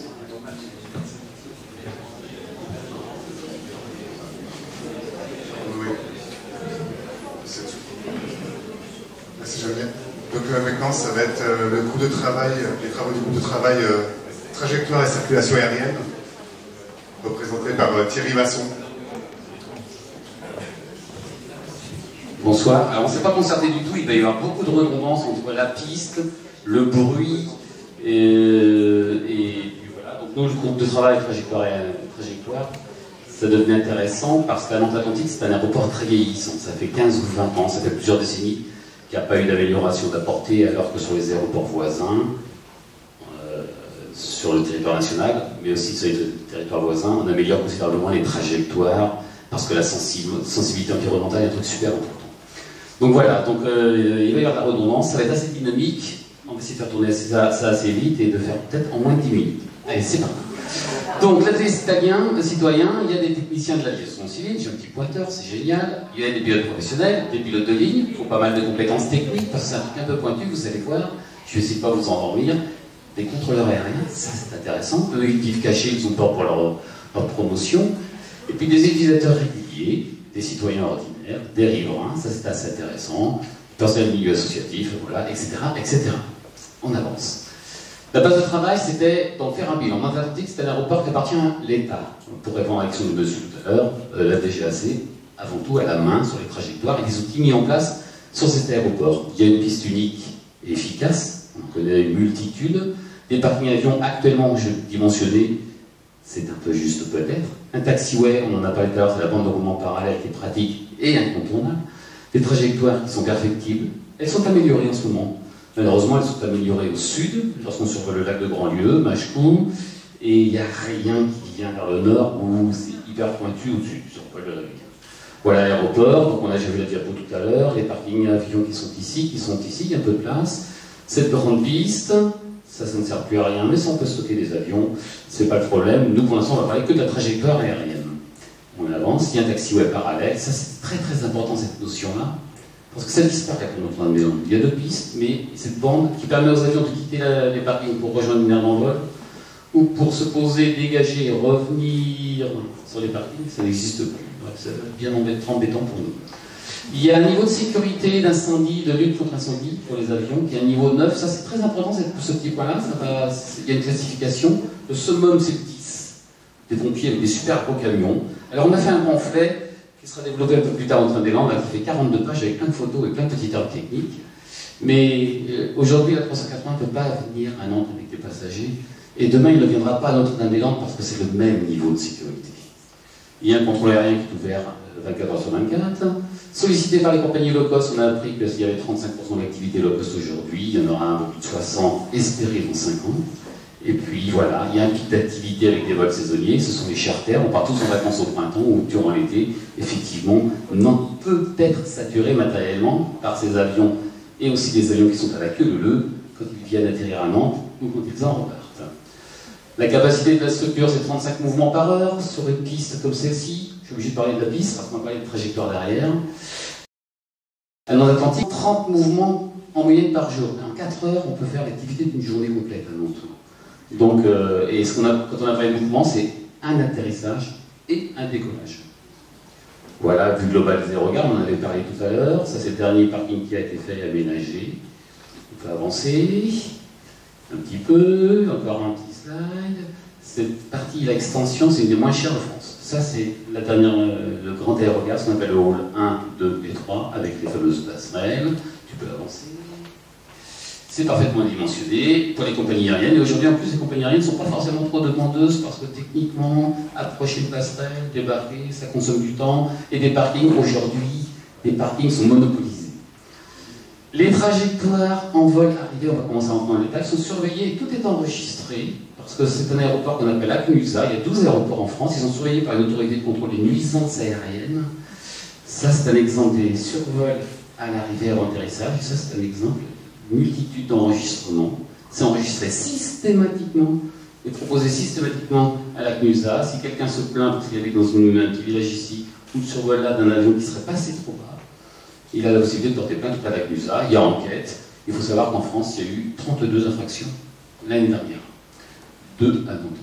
Et faites par des compagnies dites exotiques. Donc c'est surveillance, CNUSA. Et à Nantes, il n'y a pas, contrairement à beaucoup d'aéroports, vous pouvez reculer un tout, tout petit peu, c'est très important cette, cette notion-là. Il y a des points de mesure sur tous les aéroports où il y a une sensibilité environnementale exacerbée, ou alors des collectifs de citoyens qui ont marre de ces avions qui survolent. Il y a des points de surveillance et mesures de bruit. Ça n'existe pas à Nantes. Il n'y a jamais eu une demande, il n'y a jamais eu une plainte, il n'y a jamais eu une demande. Le bruit, donc on en a parlé rapidement, si tu veux avancer, c'était le travail du PEB, tu peux encore avancer, je te ça super bien. Donc rappel, aujourd'hui il y a 130 mouvements par jour, soit 48 000 par an. Voilà. Il y a une croissance de 2,5% de mouvements par an, alors que les passagers croient de 6% environ. Ça, c'est le bruit, toujours. C'était découpé par Geneviève euh, détaillé. A, ce que tu n'as pas précisé, Geneviève, c'est qu'à Toulouse, il y a 42 000 habitants qui sont impactés. Chez nous, il y en a 5 500. On déménage pourtant pas Toulouse. Voilà, on va rentrer maintenant plus sur le détail. Ah oui, le bruit, c'est très important. Voilà ce que donne un avion qui décolle aujourd'hui. Ça, c'est une projection qui a été faite par un avionneur, un constructeur d'avion existant de ce jour. Aujourd'hui, quand les avions décollent, c'est une simulation faite sur la ville de Nantes, sur une trajectoire très normée, spécifique. Voilà le bruit qu'il projette. Ça, c'est du 50 décibels. Ça, c'est du 55. Ça, c'est du 65. Je crois que c'est au moins 70. Voilà les nouveaux avions qui arrivent sur le marché, leur signature sonore quand ils décollent, sur les mêmes trajectoires. Alors ça, c'est pas un truc qu'on a pondu, qu'on a inventé, qu'on a dessiné, c'est fait par le constructeur. Avec la réserve qu'on a, on ne donne pas le nom du constructeur. Non, c'est un, un, aéroport qui vieillit. Il y a plein de faiblesses. Ah non, euh, juste après, ça serait bien. Nantes, aujourd'hui, c'est un aéroport qui faiblit parce qu'il manque de moyens techniques pour les contrôleurs aériens et nous, pour exploiter cet aéroport confortablement. On y va, on avance. Pas de radar local. Il faut savoir qu'à Nantes, il n'y a pas de radar de surveillance. Il y a un radar qui se trouve à La Roche-sur-Yon, il y en a un autre qui se trouve à Quimper. Ça rentre dans une moulinette informatique et les contrôleurs aériens voient nos trajectoires, nous surveillent, mais avec un radar qui est décalé. Ça fait que les avions sont obligés de les écarter considérablement, environ 15 km entre chaque avion. Si vous voulez augmenter la capacité de l'Atlantique, il faudrait réduire cet, espacement en installant un radar. On a une nouvelle qui date de quelques jours, toute fraîche, c'est qu'a priori, ce radar, ils sont en train de sérieusement y penser, il existe, il est dans les cartons, il faut faire une dalle en béton et on pose le radar. Mais ça, ça, on a vraiment l'information. Il n'y a pas de système de surveillance au sol. À Nantes, il faut savoir que dès que la visibilité est inférieure à 550 mètres, ça n'arrive quand même pas tous les jours, mais partant de brouillard, il n'y a qu'un seul avion qui bouge sur la plateforme de Nantes. Tous les autres sont cloués au sol. Une fois que cet avion a quitté le sol, a décollé, on autorise un second avion à bouger. Il y a une cadence très très très très lente. Si on veut envisager une croissance en activité déjà par mouvement d'avion, qui y des passagers dedans qui n'en est pas, il faudrait un nouveau système ATSB. Voilà. C'est très très simple. Vous allez voir, on l'a chiffré, plus ça ne coûte rien du tout, parce qu'on chiffre toutes les informations nécessaires. Le survol de la ville, il est peu précis aujourd'hui, mais parfois incontournable. Je fais une faute. Et ça serait facile à corriger. Et donc il faut savoir que quand on arrive par le sud, on a un système qui s'appelle un ILS. Alors on la rabâcher. C'est un système comme un toboggan qui nous donne un axe de descente et un point de descente. Et quand on arrive au sud, le survol, ça s'appelle une approche de précision. Quand on arrive par le nord avec le survol de la ville, ce système-là n'existe pas. C'est un truc beaucoup plus approximatif, on appelle, ça, on appelle ça une approche classique, ou de non-précision. On suit uniquement un axe, c'est à nous de gérer, de monitorer la descente avec le survol de la ville, il faut faire attention pour se poser au-dessus. Il faudrait modifier les trajectoires avec le survol de la ville, ça c'est pas difficile à faire. Et les trajectoires d'approche dont par le nord sont perfectibles. Un petit clic, une approche de précision et une lampe lumineuse sont à mettre en place. Pourquoi une lampe, une rampe lumineuse? On a besoin d'aide visuelle au sol par une série de une guirlande électrique avec des gros phares, ce qui nous permet d'avoir une acquisition visuelle assez tôt et pouvoir préciser l'atterrissage. Si on n'a pas une acquisition visuelle assez tôt quand on se rapproche du sol, 100 mètres, 50 mètres, on remet les gaz, on repart et on fait une nouvelle tentative d'atterrissage. Voilà le radar qui existe aujourd'hui, il est à La Roche-sur-Yon. Voilà comment les contrôleurs aériens le voient, voient des avions, ce sont des petites étiquettes. Un projet d'implantation in situ dans les cartons. Je crois qu'il y a un petit, truc, on sait qu'il existe et on sait que j'ai trouvé chaque courrier. Ça permettrait de réduire de 16 km environ à une valeur un peu inférieure à 10 km entre les avions. Ça permettrait d'augmenter la capacité et la fluidité de monter. Un gain en sécurité aussi considérable. La DSB dont on a parlé, c'est un peu technique. C'est une toute petite antenne comme ça, sur un tout petit bas. Tous les radios moteurs en font quasiment. Ça permet à tout ce qui bouge en aéroport, une voiture, deux avions entre eux, les pompiers, c'est surveillé par les contrôleurs aériens en temps réel. Et le radar local d'approche, c'est ça. C'est un mât qui est monté sur un pylône, pas très haut. Ça permet d'avoir une antenne. Et là aussi, pour les contrôleurs aériens, peuvent nous voir, ajuster beaucoup plus finement notre trajectoire, augmenter la capacité sur et autour de la piste. Voilà, la rampe d'approche. Donc aujourd'hui, quand on arrive sur la piste de Nantes Atlantique, ça se présente comme ça, le taxiway, l'aéroport est ici. C'est une, une, approche qui n'est pas performante, malheureusement, et ça sera incontournable compte tenu du sens de la piste. On survolera encore très longtemps, y compris les 600 avions cargo pour Airbus, le Beluga, il y en a 600 par an, eh bien, on continuera toujours à survoler la ville de Nantes. C'est incontournable. Mais là, on fait une approche qui est dite de non-précision. C'est une approche classique, c'est pas très précis, il faudrait mieux, il faudrait améliorer ça. Donc c'est la première option efficace. Et normalement, ce système d'aide à l'atterrissage, c'est un tout petit schéma. C'est pour, pour, faire une approche, nous on vole euh, sans regarder dehors, on regarde que nos instruments, c'est eux qui nous guident vers le sol. C'est fait pour être mis dans l'axe de la piste. Aujourd'hui, on nous dit, ah, le survol de la ville de Nantes, qui serait, on peut imaginer quelque part par là, c'est pas possible.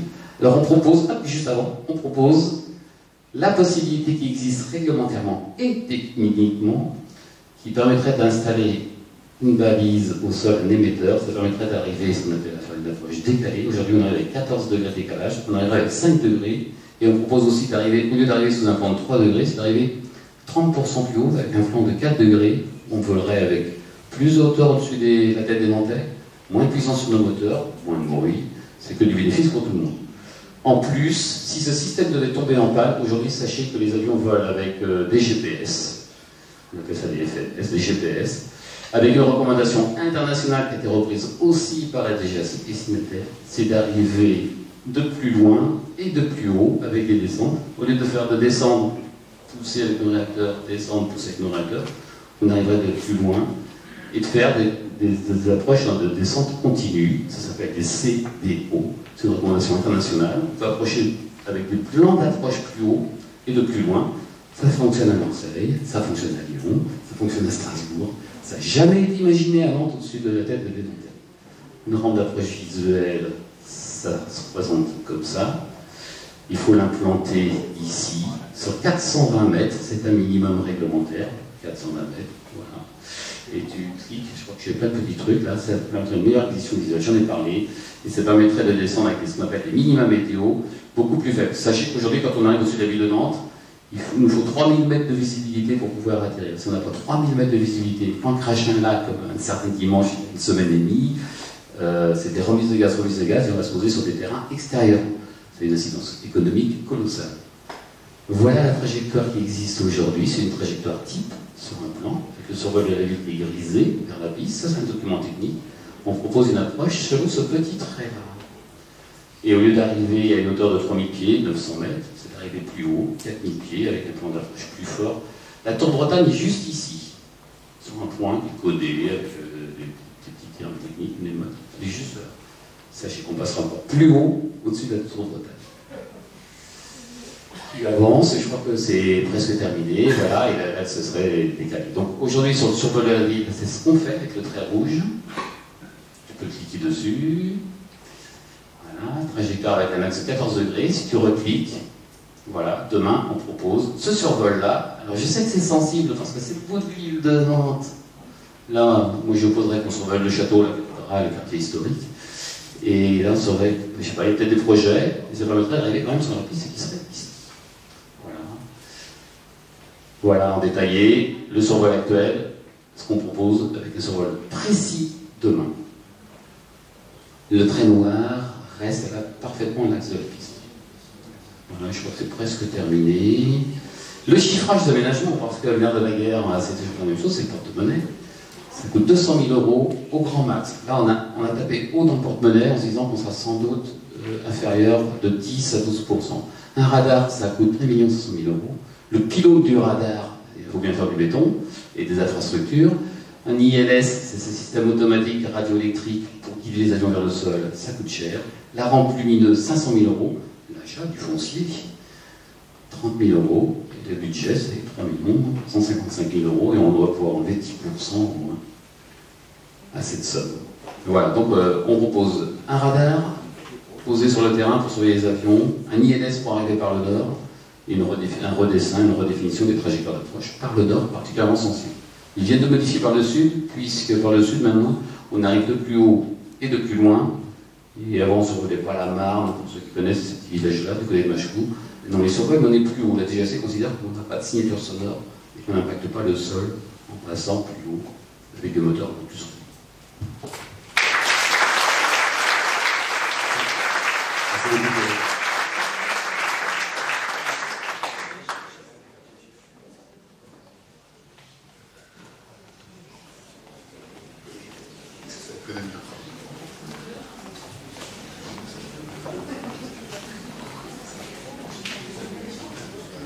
Donc maintenant, ça va être le groupe de travail euh, économie-emploi avec Brigitte Hélène.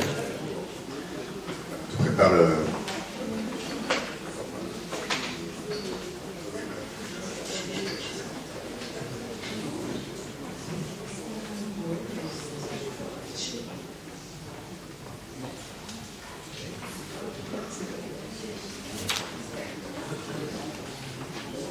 Bon, le, le groupe économie-emploi, contrairement à ce qu'on vient d'entendre, euh, et que là c'était brillant, euh, ce sont des spécialistes. hein. Nous, on n'était pas des spécialistes justement, il n'y avait d'économistes dans notre groupe, il y avait des gens euh, qui s'intéressaient à cette question, euh, des salariés, des retraités, euh, des élus aussi, et, surtout des gens du Sud-Loire. C'est pas innocent parce que des gens qui habitent le Sud-Loire, ils mesurent ce qu'apporte l'aéroport et la zone aéroportuaire en termes d'emploi sur le Sud-Loire.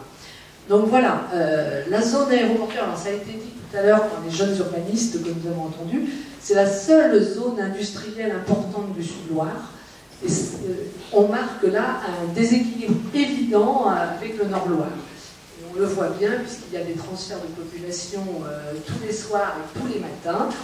Sur le Nord-Loire, on a Carquefour, on a Saint-Herblain, et sur le Sud-Loire, eh bien, on a la- la seule zone, c'est la zone aéroportuaire. Donc ce déséquilibre, bien évidemment, il sera accentué si le transfert de l'aéroport vers NDL se fait. Donc Nantes Atlantique est au cœur de cette zone économique et donc on a essayé de voir quels étaient les emplois qui étaient liés euh, à l'aéroport lui-même. Donc ça c'est des emplois directs et puis bien évidemment il y a aussi des emplois indirects. On en reparlera tout à l'heure. Sur cette zone, le gros employeur c'est Airbus et c'est très important. Et tout autour de cette zone aéroportuaire, alors moi j'ai pas fait de carte hein, parce que je suis pas très douée euh, pour, faire, du dessin, mais on a fait un document écrit qui est, qui est, plus complet que ce que vous allez voir là, et peut-être qu'on pourra rajouter des cartes effectivement. alors, les emplois liés à l'aéroport, directs et indirects impactés par le transfert, il y a 85 établissements qui sont liés directement à la présence de l'aéroport. Ça fait à peu près 2000 emplois. Donc ce sont les administrations, euh, la DGAC par exemple, euh, la CCI, l'assistance au sol, les compagnies aériennes, donc il y en a de plus en plus avec le low cost effectivement, les tours opérateurs, euh, les loueurs de voitures, le fret. Donc ça c'est vraiment les établissements qui travaillent sur le site. Autour, il y a 110 emplois qui sont situés dans la zone D2A. La zone D2A, c'est une, des zones très importantes qui est et on a rencontré euh, euh, des, le président des employeurs de cette zone D2A qui nous a parlé de, ses besoins en matière d'emploi, de, transport et c'était tout à fait intéressant. Donc ce, tableau vous montre euh, l'activité et les emplois liés. Donc je ne sais pas si vous voyez, hein, c'est un peu petit. Transport aérien de passagers de fret, environ 650 emplois. Affrètement, organisation, transport, manutention, environ 300, entre 250 et 300. Service auxiliaire des transports aériens, 148. Sécurité privée, 138. Hôtel et hébergement, une quarantaine. Location de voitures, 53. Service de l'État, 233. CCI, AGO, environ 150. Commerce, restauration et tour opérateur, environ 150. Donc ça, ça fait 1850 euh, emplois euh, vraiment liés à la zone euh, de l'aéroport. les emplois sur les zones d'activité hors aéroport, c'est 8313 emplois. Alors bon, les chiffres, ils sont peut-être un peu anciens parce qu'il faut vous dire qu'on n'a pas pu obtenir les derniers chiffres. On a demandé à la CCI qui avait fait une étude en 2013, on n'a pas pu les obtenir, on nous les a promis, on nous a dit oui, oui, on vous les envoie, on vous les envoie, et on ne les a jamais eus. Donc on s'est basé sur les chiffres de 2010. Donc il est probable que ça a quand même passablement évolué depuis. Les zones industrielles dont j'ai parlé tout à l'heure, c'est la zone T2A, la zone du Chafaud, la Croix-Rouge, le Technocampus qui est en construction et qui est en train de prendre une importance certaine. Et toutes ces, toutes ces zones-là regroupent des entreprises qui, elles, ne travaillent pas directement avec l'aéroport. Elles ne sont pas forcément liées euh, à l'existence de Nantes Atlantique et elles ont un problème parce qu'elles euh, n'ont aucune desserte en transport en commun. Euh, le, responsable de, l'entreprise qu'on a rencontré nous a expliqué que lui, par exemple, il était obligé l'été de changer les horaires de ses salariés parce que les lignes de bus l'été sont beaucoup moins importantes. Et donc, ben, comme il n'y a pas de bus, trois quarts des gens viennent en voiture, euh, d'ailleurs, pour faire notre travail, on avait regardé, je ne sais pas, tu avais passé une diapo parce que j'avais mis la méthodologie qu'on avait employée. On a regardé le plan de déplacement des, utilisateurs de, ces zones-là et on s'est rendu compte qu'ils avaient énormément de problèmes, pas de transport public. Et donc, du coup, bah, tout le monde vit en voiture. Alors, il y a un petit peu de covoiturage, mais enfin, c'est pas terrible. Donc, du coup, des besoins en parking, des problèmes d'embouteillage, et puis bah, des, vraies difficultés pour organiser le travail, puisque euh, souvent dans ces entreprises-là, dans le travail de nuit, on fait le 3-8, donc c'est extrêmement compliqué et euh, ça perturbe le fonctionnement des entreprises. Alors, ce qu'on a euh, fait également, c'est qu'on a rencontré quelqu'un de Nantes Métropole, une responsable, alors on ne dit pas son nom parce qu'on ne veut pas qu'elle ait d'ennui quand même. Elle, elle, nous a beaucoup aidé dans ce qu'elle nous a raconté et elle nous a dit que Nantes euh, Nantes Métropole avait une véritable volonté de développement de cette zone, notamment autour de tout ce qui est nouvelles technologies, la recherche, la sous-traitance de l'aviation, et tout ça évidemment c'est pas lié à la présence de l'aéroport, mais c'est lié à la présence d'Airbus. Airbus, qui représente 2300 emplois, euh, il y a euh, des techniciens de très haut niveau, des gens qui travaillent sur les matériaux nouveaux, et donc, euh, ce que souhaite notre métropole, c'est de développer euh, euh, un campus vraiment spécialisé dans les nouvelles technologies. Donc, du coup, il y a une pression foncière qui s'accentue parce qu'on a besoin de terre, de territoire pour installer ces entreprises. Ah tiens, là, la diapo est mangée à moitié. Donc, euh, je ne sais pas ce qui s'est passé, il y a un problème.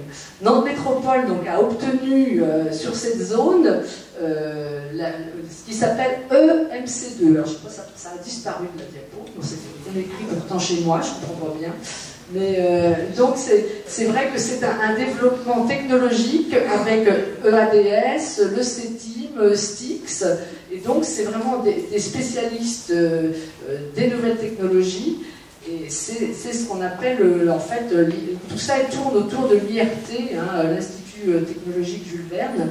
Donc on veut faire venir des scientifiques de haut niveau, on veut faire venir des, chercheurs, et donc il faut absolument qu'il y ait des entreprises autour de tout ça pour que Nantes puisse être reconnue comme un pôle de recherche très important. Et c'est vraiment l'envie de Nantes Métropole de développer ce secteur-là.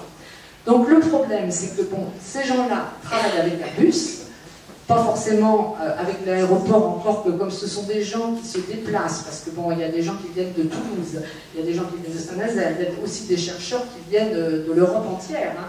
Et donc ces gens-là se déplacent, donc c'est vrai que c'est extrêmement pratique pour eux euh, d'être plus près de l'aéroport, même si euh, l'aéroport, ils pourraient s'en passer, effectivement.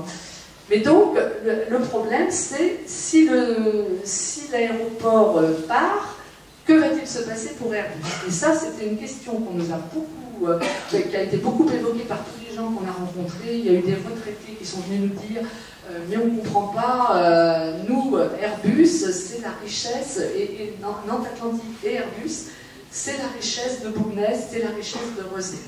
Donc qu'est-ce qui va se passer si tout ça s'en va, si l'aéroport de Nantes Atlantique s'en va à Notre-Dame-des-Landes, qu'est-ce qui va se passer pour le site Airbus? Le site Airbus est-il menacé par le départ de l'aéroport Alors on a eu beaucoup de choses, hein. même dans le Figaro, euh, il s'interrogeait et il disait que c'était quand même quelque chose de très important qu'on n'avait peut-être pas suffisamment mesuré. Est-ce qu'une délocalisation, est possible? C'était la crainte des salariés et des retraités, car Bourgnay, semble-t-il, alors moi je ne sais pas, mais François pourra peut-être le dire, a toujours été un site plus fragile euh, au niveau d'Airbus que le site de Saint-Nazaire il y a plus de salariés à Saint-Nazaire qu'à Bourgnay. Mais bon, là, c'est vrai que ça peut être une inquiétude. C'est vrai que l'évolution de la zone est liée au maintien d'Airbus. Et tous les investissements qui sont faits aujourd'hui, donc avec le Technocampus, l'IRT, euh, plaident pour le maintien sur la zone. Dans ce cas, il est bien évident que la piste doit être maintenue car elle permet à Airbus des échanges avec les autres usines, c'est ce qu'on vous disait, les autres usines du groupe, elle permet d'effectuer des essais. Tu avances. Donc qui dit maintien de la piste dit financement, et c'est là où le bas blesse, et engagement fort des collectivités locales. Donc nous, comme notre atelier citoyen, là, on était juste, on s'est réunis juste au moment des élections euh, départementales, en janvier et février, donc on s'est dit bonne aubaine, on va écrire à tous ces gens-là, qui sont nos élites, ce sont ceux qui pensent pour nous, encore que montre que nous aussi on s'est pensé quelquefois. Euh, donc on leur a dit, ben voilà, on vous, demande votre avis euh, en tant que citoyen, on s'interroge euh, sur le devenir d'Airbus, sur le devenir de la piste, quels sont vos engagements. Et là, on a eu des réponses vraiment foireuses. Il y, a, alors je vais quand même les citer, parce que Démocratie 44 qui nous répond bah, tout ce qu'on lit dans les journaux, c'est que Airbus va rester et l'aéroport, euh, on gardera la piste. Ils ne nous disent pas comment. Ils ne nous disent pas qu'il va les financer, puis finalement ils sont comme nous, ils disent le journal. bon, moi je, je, trouvais, ça un petit peu curieux parce que nous on espérait avoir des réponses un petit peu pointues. Or on n'a absolument rien eu de pointu, c'était complètement vaseux. Euh, le maire de, de ne nous a pas répondu, le maire de Rosé ne nous a pas répondu.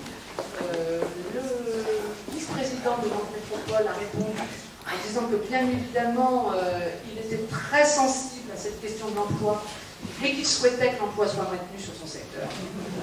Ça ne marche pas demain. Voilà. Euh, si, alors je, mens parce que j'ai reçu la lettre de Rosé, mais il n'y a pas très longtemps, où il disait lui aussi que c'était pratiquement un copier-coller de la lettre précédente, ils avaient dû se concerter pour dire que c'est vrai que l'emploi c'était quand même important.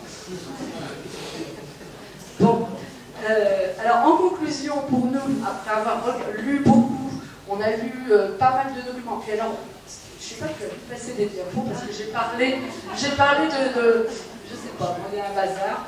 Euh, on, a, travaillé aussi avec les gens de la CGT, et vous savez que l'Union départementale de la CGT a fait un très gros travail. Donc il y avait quelqu'un de la CGT qui était dans notre groupe, et eux, euh, bah, ils se sont prononcés pour le maintien de Nantes Atlantique et contre le transfert euh, à Notre-Dame-des-Landes. Donc tout ça, toutes ces personnes-là, tout ce qu'on a lu, toutes les personnes qu'on a rencontrées, nous ont fait dire que le développement de la zone Nantes Atlantique était possible et nécessaire pour maintenir des emplois sur le sud-ouest. Hein. 70% des travailleurs de la zone habitent sur le sud-ouest.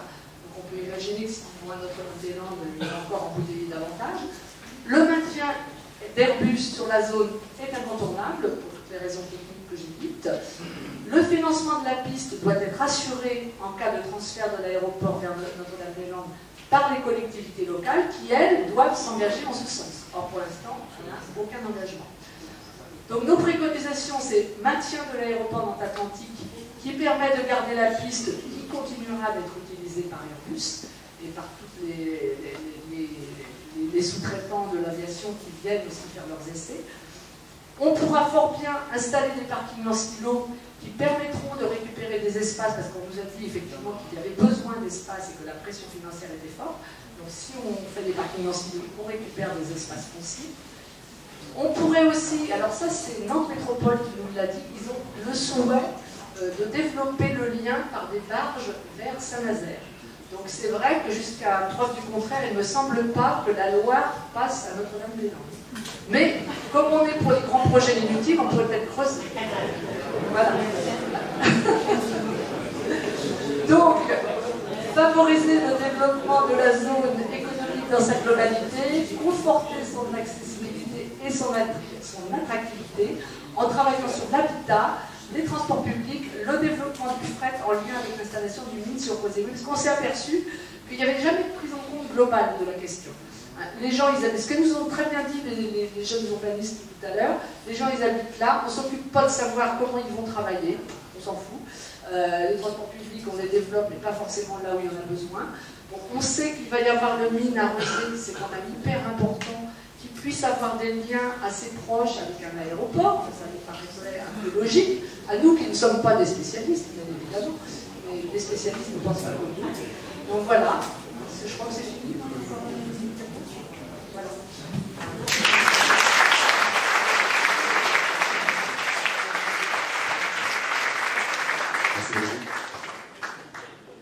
Donc nous allons bien accueillir euh, Jean-Marie Rabier.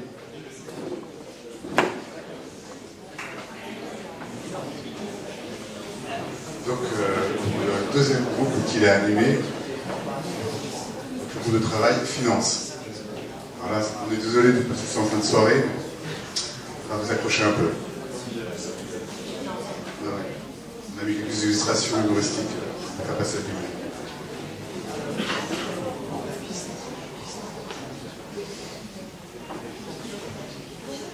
Alors, le groupe Finance, c'était un groupe extrêmement sympathique qui s'est composé de deux personnes, qui s'appellent Jean-Marie et Jean-Marie. Et Jean-Marie est là d'ailleurs. Jean-Marie aussi.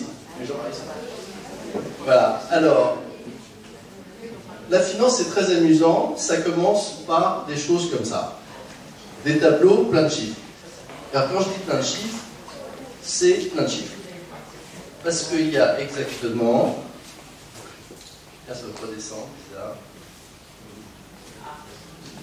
Voilà. Voilà, voilà, voilà. Ça continue. Ça continue.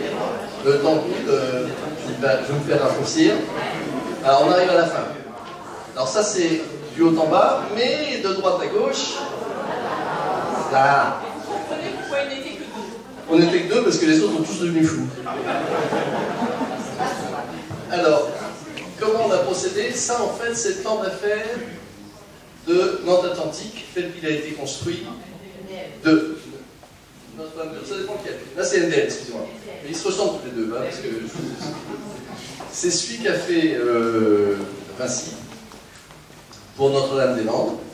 Donc, il y a un certain nombre d'hypothèses sous-jacentes de nombre de passagers, d'inflation, de, de frais de fonctionnement, etc. Et avec Jean-Marie, on a fait la même chose pour Nantes Atlantique. Donc pareil, il y a autant de lignes, autant de colonnes. Et on a décortiqué avec Jean-Marie chaque ligne pour voir quelle était la logique de construction. Et une fois qu'on a compris, on a fait la même chose adaptée pour Nantes Atlantique. Alors adapté, ça a souvent été exactement la même chose. Il y a quand même un truc qui est très différent, c'est qu'on n'a pas eu besoin d'investir 750, 800, 850, 900 millions et de mettre en place les financements et tout ça. C'est la grosse différence. Voilà, enfin la méthodologie, ça a quand même consisté à faire un travail de fourmi avec Jean-Marie pour comprendre ce qu'ils avaient mis dans leurs chiffres et puis bah, faire un peu la même chose à Nantes Atlantique et comparer. Alors, j'arrête de vous assommer avec ces tableaux de chiffres passionnants et je passe à une méthodologie plus euh, vivace, loquace, voilà, dont Jean-Marie est l'auteur et l'artiste, comme quoi un professeur de comptabilité peut aussi avoir du sens, un sens de l'humour pointu, le combat des chiffres. Donc, euh, comparer les plans d'affaires, quel est le plus intéressant pour le concessionnaire, pour l'État, pour les collectivités locales et, et, et, et pour les pauvres. Et vous verrez que c'est pas tout à fait innocent. Méthode, comme je vous l'ai dit, comprendre comment a été construit le plan d'affaires de Notre-Dame-des-Landes, bâtir celui de notre Nantes Atlantique sur les mêmes hypothèses, de trafic, de recettes, d'inflation, tout ce qu'on veut, même des marges, même des hypothèses économiques. Enfin, vraiment, on a fait une transcription. Euh... Alors, une petite différence quand même sur les coûts opérationnels, donc les coûts de fonctionnement euh, de l'aéroport. On a extrapolé ceux des premières années, parce qu'on a, quand même euh, les premières colonnes du tableau, c'est encore notre Atlantique, hein, parce que ça n'a pas encore déménagé hein, dans le modèle qu'a fait Vinci. Et on a regardé comment ça évoluait, et on a gardé la même logique pour la suite. Alors évidemment, c'est plus cher que Notre-Dame-des-Landes, et ça se comprend, parce que tout le monde a compris que Notre-Dame-des-Landes, c'est un aéroport low cost, qui fonctionnera avec peu de monde. Et donc il y a quand même une différence sensible, 531 millions d'euros. Sur 50 ans, c'est pas énorme, enfin quand même. Alors, là vous avez un petit récapitulatif des investissements euh, Notre-Dame-des-Landes, hors TGV. Parce que bon, on aime bien le train, mais on n'est quand même pas sûr qu'on fasse un TGV entre Nantes et Rennes, et puis en plus le raccordement euh, entre le TGV et Notre-Dame-des-Landes. Donc, les maîtres d'ouvrage, l'aéroport du Grand Ouest, les investissements initiaux 435 millions, renouvellement et expansion 608 millions. Là, on a repris texto le, les budgets de Vinci. L'État finance la tour de contrôle le raccordement routier. C'est un peu plus compliqué que ça, mais ça coûte 130 millions. Et les collectivités locales sont taxées pour le tram-train et pour le franchissement de la Loire, sachant que monsieur Retailleau veut son franchissement de la Loire avant l'ouverture de l'aéroport. Donc 1 milliard 793 millions, c'est pas, pas la fin du monde, mais ça fait un peu de sous. Par contre, à Nantes Atlantique, c'est un peu moins cher. Là, on a repris les hypothèses des différents groupes de l'atelier citoyen. Donc le groupe aéroport, le piste. Donc il y a quatre grandes lignes. Hein. Il y a de, la première étape que Yvan a présenté tout à l'heure, ça fait 44 millions, y compris la rénovation de la piste. L'extension du tram avec la desserte de la zone industrielle d'Airbus, on en a parlé un petit peu tout à l'heure aussi, 50 millions. Quand on est rendu à 7 millions de passagers, c'est-à-dire en 2038, il y a une deuxième étape, et là aussi on s'est basé sur les chiffres des architectes, donc 51 millions en euros courants. Et en 2050, quand on arrive à 9 millions, bah, il y a une dernière étape, 110 millions. Donc on arrive à 255, je vous rappelle que tout à l'heure on était à 1793, c'est un peu moins cher. Pour mémoire, j'ai mis les rénovations de la piste, sachant que là aussi je me suis basé sur ce que nous avait dit Joanny, donc tous les 10 ans à peu près il y a gros travail de, remise en état. C'est pas le petit travail qui est fait en ce moment, là où il dépense 1 million, là c'est plutôt 10 millions, mais 10 millions d'euros de cette année, en 2028 ça fait 15 millions, 38, etc. On a, mis des euros courants. Alors, pourquoi ça change? C'est à cause de l'inflation. Donc là, on explique un petit peu comment fonctionne le mécanisme de l'inflation. Parce que la, la, méthodologie Vinci, c'est de raisonner en euros courants. Ça nous semble moyennement honnête de, prendre des chiffres en euros courants. Donc on a, neutralisé l'inflation. Et là, on est revenu en euros constants 2016. Et si on regarde les grandes masses financières, on voit qu'il y a des recettes, qui sont les mêmes dans tous les cas, hein, ça je vous l'ai dit. Euh, il y a des dividendes qui sont perçus par euh, AGO. Il y a l'État, là on met le, bilan global, tout ce qui rentre et ce qui sort de l'État, et il y a les collectivités locales. Alors la colonne NDL, c'est euh, la colonne que vous voyez, là, celle-là, c'est le budget initial de construction de NDL qui nous a toujours semblé assez bizarrement sous-estimé. En particulier, je vous avais donné l'exemple des deux pistes qui coûtent 60 millions, alors que rénover Nantes-Atlantique, ça coûte 370. Donc on s'est dit quand même que Notre-Dame-des-Landes coûtera sans doute au moins 45% plus cher. Alors ça ne change pas les recettes. Par contre, évidemment, ils dépensent plus pour construire leur aéroport, ils ont moins de dividendes, l'État touche moins d'impôts sur les sociétés. Par contre, les collectivités locales, elles se font toujours taxer de 901 millions. La dernière colonne, c'est Nantes-Atlantique, modernisée, revue, corrigée, enfin, tout ce qu'on on vous a présenté là, dans le cadre de. On s'aperçoit que l'aéroport du Grand Ouest gagne beaucoup, beaucoup, beaucoup plus d'argent. L'État se porte bien, puisque si euh, il touche l'impôt sur les sociétés euh, d'aéroport du Grand Ouest, ben, c'est très bon, hein, l'impôt sur les sociétés, je vous rappelle, c'est 33%. Hein. Pas rien, quand on gagne de l'argent, on donne à l'État, c'est normal. Par contre, les collectivités locales, elles se portent, elles, beaucoup, beaucoup, beaucoup mieux aussi, parce qu'au lieu d'être taxées sur des subventions, sur la mise en place d'un tram-train qui va perdre plein d'argent tout le temps, sur un pont sur la Loire qui, euh, bon, dont on peut se passer euh, s'il n'y a pas besoin de faire Notre-Dame-des-Landes, bah, elles n'ont plus que la prolongation du tramway à financer, ce qui est évidemment beaucoup, beaucoup, beaucoup moins cher que ce qu'il faut financer quand on va à Notre-Dame-des-Landes.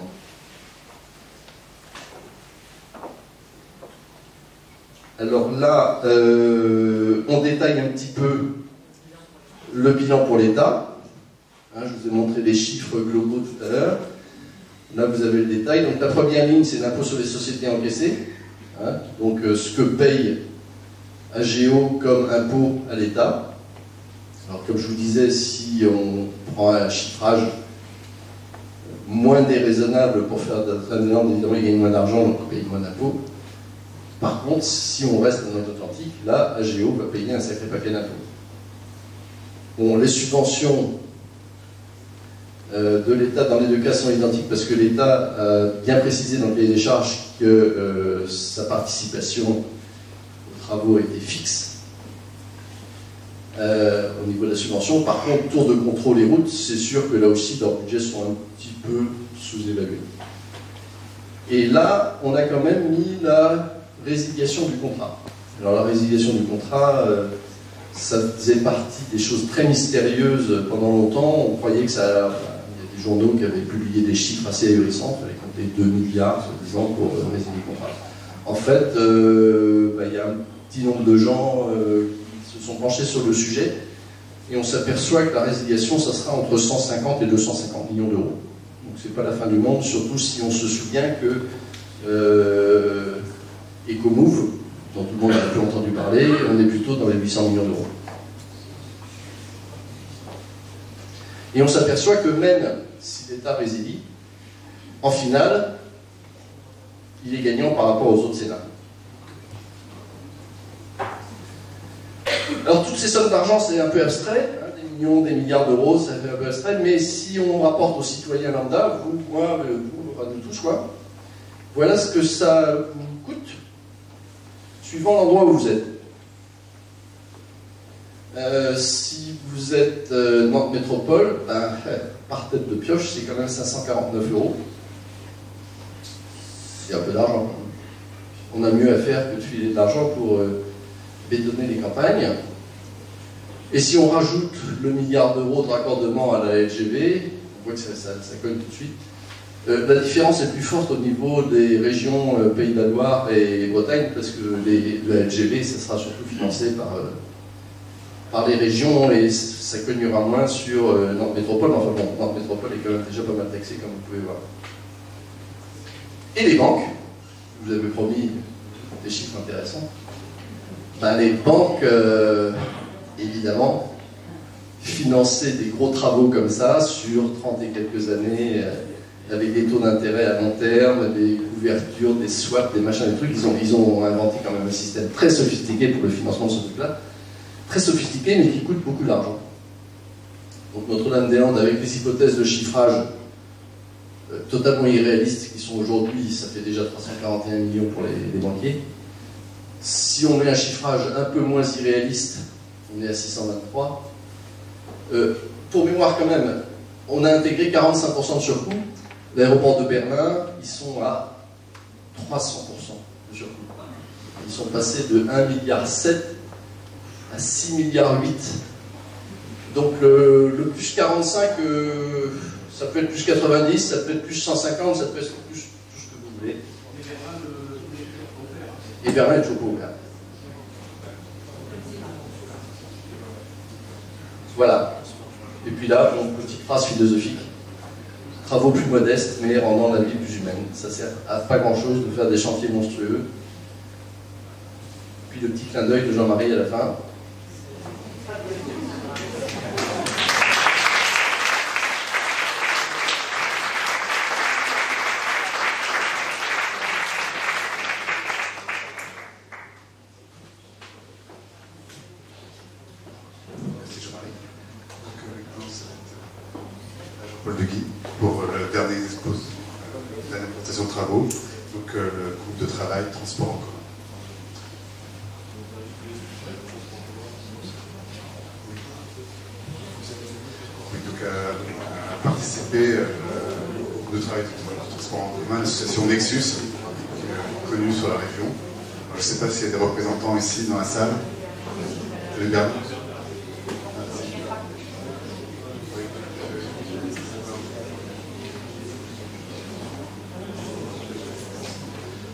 On a vu qu'on euh, pouvait très très facilement refaire euh, la piste.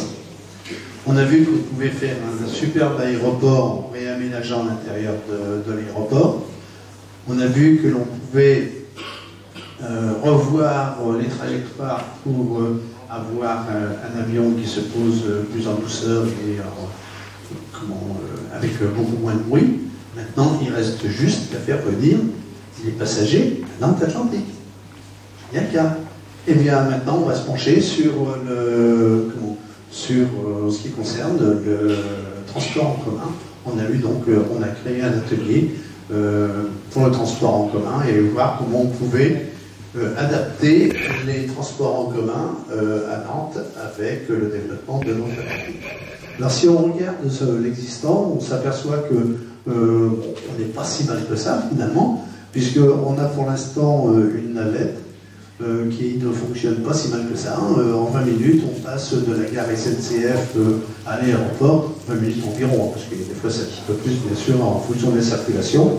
Et on a une, on a un, drainage de tramway, dont la ligne 3, qui va, elle, jusqu'à la bord de, l'aéroport. Donc on n'est pas si mal que ça en, en transport, en, transport euh, pour l'instant. Euh, actuellement, donc, la, le tram, euh, ligne 3, la ligne 3, arrive à la station Neustrie. C'est le, le, bout, lorsqu'on arrive au bout de la ligne 3, on arrive à la station Neustrie. Suivant. Et donc, cette station, ben, c'est une vraie station avec un parking auto assez important. Et euh, c'est de là également qu'on euh, a un relais navette tous les 20 minutes avec l'aéroport. Euh, l'aéroport qui est à 2 minutes en route. Donc on a une grande station et la prolongation jusqu'à Nantes-Atlantique, eh bien, elle se fait aisément par cette ligne 3. D'ailleurs, on voit le, les rails qui arrivent et juste au bout, on a l'aéroport. Donc euh, la ligne doit franchir un obstacle, c'est le périphérique, parce qu'effectivement, juste après la, ligne 3 de ce, ce, eh bien, on, voit le, périphérique, on doit le franchir. Donc c'est un obstacle. C'est la solution donc est de construire un viaduc d'un seul tenant avec une travée unique dédiée à la plateforme du tramway. Et on peut imaginer d'implanter d'ailleurs euh, des voies piétonnes, des, des- voies cyclables.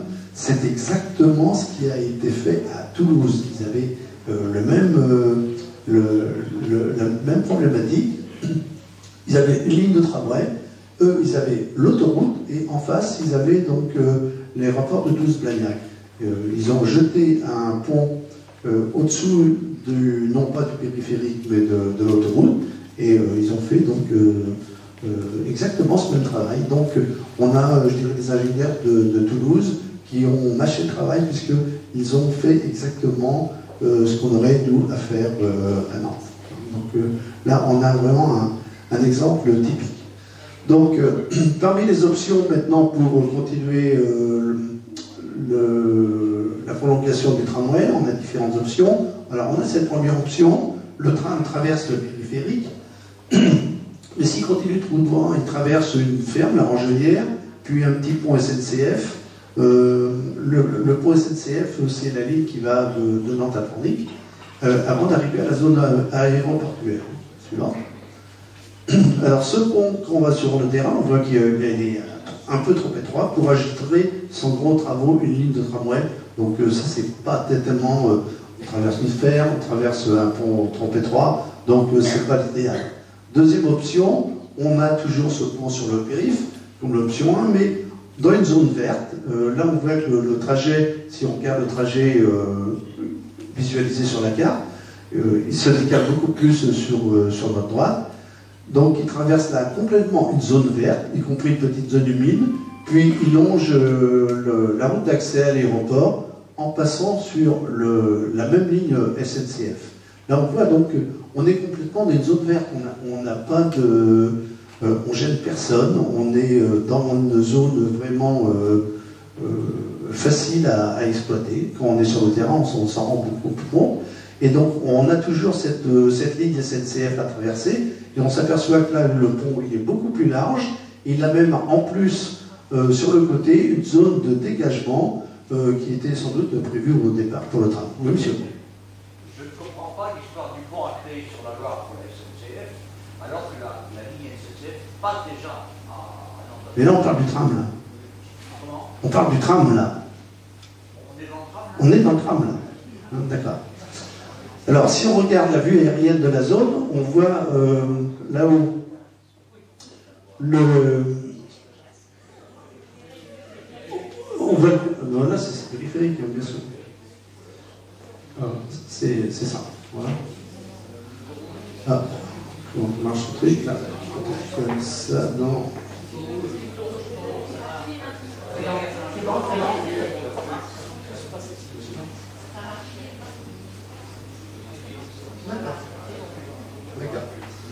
Alors, on voit ici, c'est la, la station Austrie.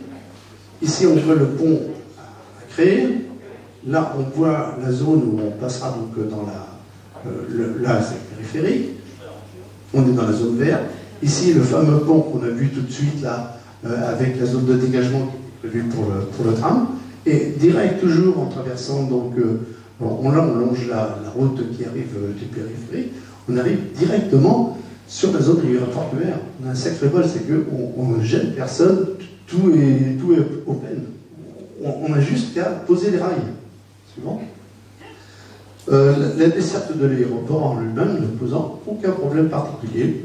On peut le faire soit euh, en, extérieur, on peut soit descendre également faire une gare euh, jumelée avec la clé du TER euh, en, en voie souterraine avec des escaliers qui montent vers l'aéroport. Là, on a le choix, on n'a encore aucun problème. Suivant. Maintenant, euh, combien ça prendrait de temps pour faire le pont, pour passer, pour mettre des rails, etc., etc., pour arriver jusqu'à la zone portuaire? Alors, on prend un exemple, et donc là, après, on peut l'extrapoler euh, dans, dans, dans notre, euh, en, temps. Si on a un arrêté de déclaration publique d'utilité publique qui serait euh, fin 2015, eh bien, on, voit, on a les, différentes étapes à franchir, libération des emprises de domaine public, la gestion des réseaux, etc., etc. Et là, on a un autre exemple qui est extraordinaire, c'est également à Toulouse qui avait exactement le même programme. Donc là, on a quelque chose qui est, c'est pas, c'est pas à envisager, c'est quelque chose de très très très précis avec des travaux qui ont été effectués. Donc là, c'est pas du prévisionnel, on sait exactement à quoi s'en tenir. Donc, pour en revenir, euh, pour en revenir donc à ce calendrier, si on avait un arrêté de DUP fin 2015, eh bien, on pourrait faire la mise en service euh, du, tramway euh, en avril 2018. Donc ça irait 2016, 2017, un peu plus de deux ans et demi, on, y est. Donc c'est très très court finalement. Suivant. Donc, quelques chiffres maintenant. Le coût de l'investissement, le pont, les, voies, l'arrivée, l'investissement global est compris entre 40 à 50 millions d'euros. Alors pourquoi cette, différence? Tout simplement, si on commence les travaux immédiatement, si on, décide de, prolonger le tramway tout de suite, eh bien c'est ce qui va coûter le moins cher, puisqu'on commence les travaux immédiatement, donc on sera autour des 40 millions, en étant quand même un peu large, mais bon, 40 millions. Si on attend euh, plusieurs années, euh, si on voit qu'il euh, y a, d'autres frais à faire à côté, on, va laisser ça un peu de côté, on mettra ça, le, travail un peu plus tard, et eh bien là, automatiquement, le, coût des travaux augmente et on arrive à 50 millions. Mais on est dans cette fourchette-là, et curieusement, en faisant un parallèle avec ce qui a été fait à Toulouse, on est pile dans le, dans le, dans le programme, et sans, communiquer nos, travaux avec le service finance, eh ben, le service finance est lui tombé également euh, sur cette fourchette-là de, de, 50 millions d'euros. Donc là, on sait exactement où on est au point de vue, euh, au point de vue coût. Le temps du parcours entre le centre-ville et l'aéroport, au maximum, c'est de 25 minutes. On pourrait envisager une fréquence, c'est-à-dire euh, un, tramway qui arrive à l'aéroport, Facile, 10 minutes, sans problème. Sachant qu'à euh, la station de Strie, on a un tram qui arrive tous les 5 minutes. Tous les 5 minutes, on a un tram. Donc euh, là, on aurait un tram. Un tram sur deux va à l'aéroport, ce qui fait qu'on on est euh, sur, les 10, minutes. Si on a vraiment beaucoup, beaucoup, beaucoup de passagers, eh ben, on peut avoir un tram qui arrive à l'aéroport tous les 5 minutes. Aucun problème. On a 6000 emplois On a aussi 6 000 emplois euh, qui seraient desservis par ce tramway. Et ça, euh, c'est quand même énorme, parce que euh, tout à l'heure, l'atelier des emplois nous signalait qu'il y avait un très très grave problème au point de vue du transport en commun. Et bien là, le, transport en commun, il vient non seulement amener des passagers à l'aéroport, mais il emmène également des employés dans les zones de travail. Alors ça, c'était pour euh, l'option euh, tram. Maintenant, si on regarde le, rail, le, TER, euh, on a repris tout simplement, enfin tout simplement, on s'est basé en grande majorité sur le travail qui avait été fait par l'association Nexus, qui avait déjà fait un, boulot considérable sur, sur, ce, sur, ce, sur ce sujet. Donc euh, l'aéroport de, Nantes euh, bénéficie d'un comment d'une il a déjà une ligne qui petit peu euh, l'aéroport bénéficie d'une station exceptionnelle parce qu'il est raccordé à toutes les toiles ferroviaires nantaises par des voies de chemin de fer existantes. là, on n'a même pas besoin de créer, d'amener une voie, elle existe, elle est là, physiquement même extraordinaire. Ce qui permet à la fois un raccordement au réseau de, transport en commun nantais, mais aussi au réseau ferroviaire euh, régional et national. Euh, suivante. Alors, quand on voit par où passe ce, ce, TER, on s'aperçoit que le, le, TER croise déjà des lignes de transport en commun, comme la ligne du Busway 4, les lignes, de, les lignes 2 étroit du tramway.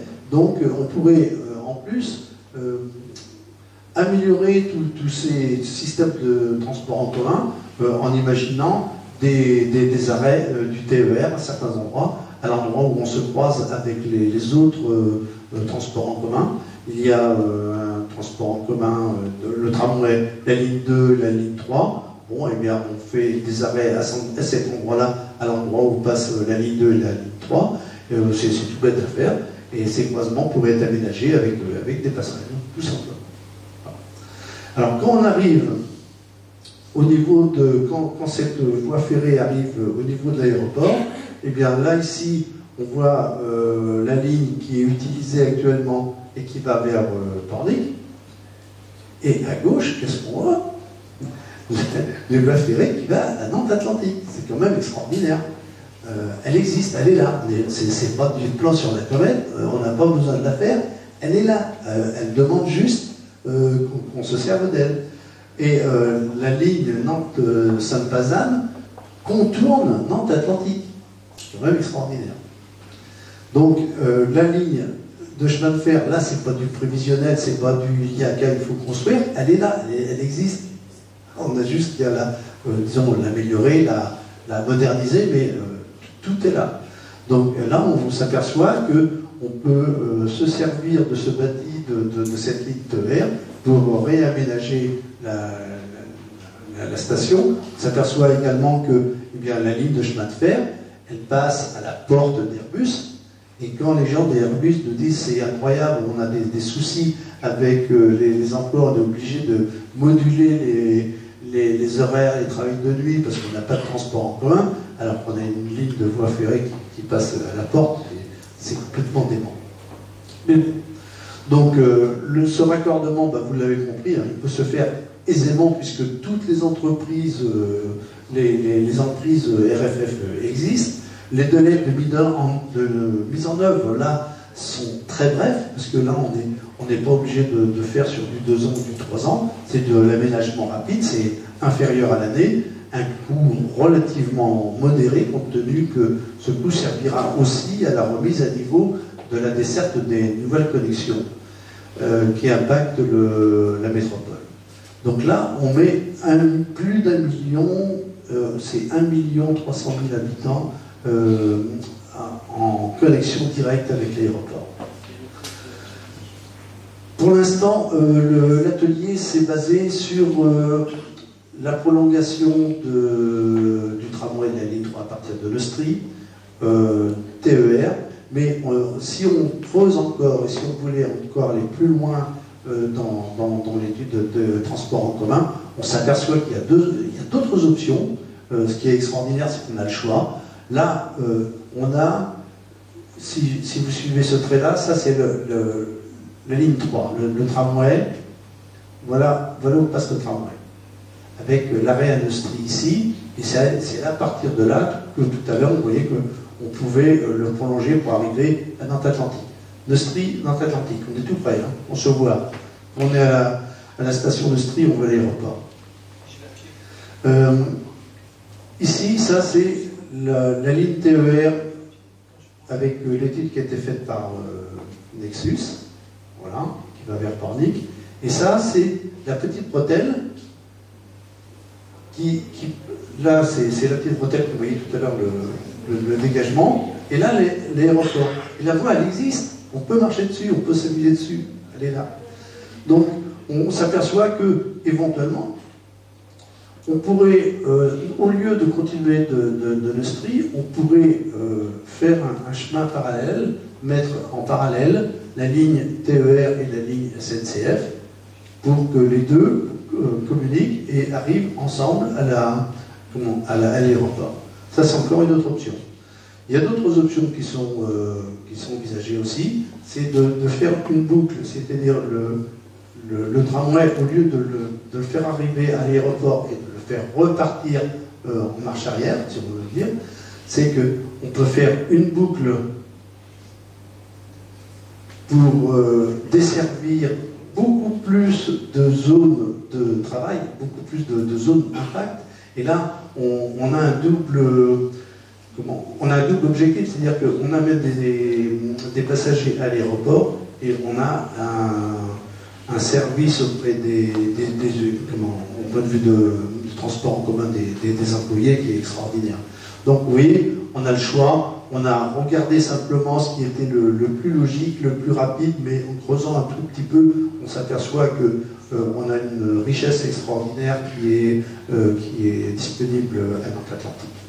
Donc euh, cette étude permet de valider des possibilités de transport en commun. ce qu'on disait tout à l'heure à la journaliste, c'est qu'au départ, on pouvait penser qu'on aurait un gros travail à effectuer, et bien finalement, on n'a pas eu un gros travail parce que l'extension des transports en commun, c'est vraiment une évidence même. On a des rails qui arrivent, qui sont disponibles, on a juste qu'à continuer, faire quelques centaines de mètres et on est à l'aéroport, ce qui est quand même extraordinaire.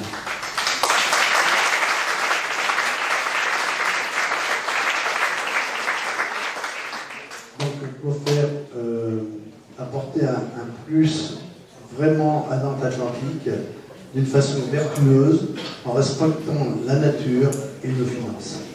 Ne va pas tirer sur euh, l'ambulance, mais on n'est pas du tout dans le même contexte avec, avec euh,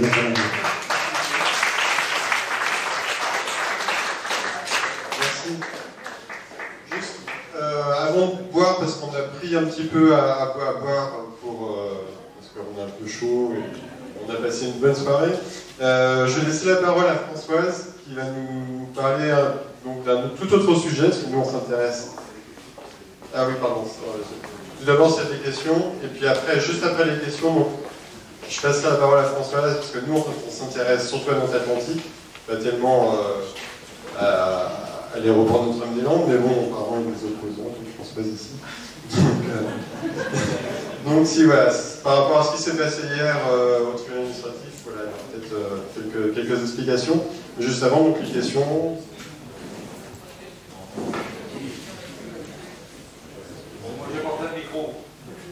simplement euh, émettre l'idée que l'encyclique du pape François va peut-être faire bouger les choses.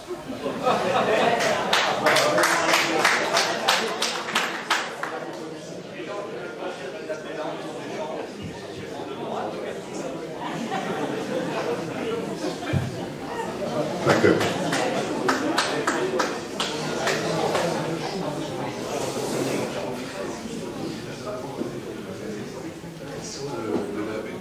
question de la piste euh, dans l'autre sens, vous n'avez pas travaillé dessus, vous n'avez pas évoqué.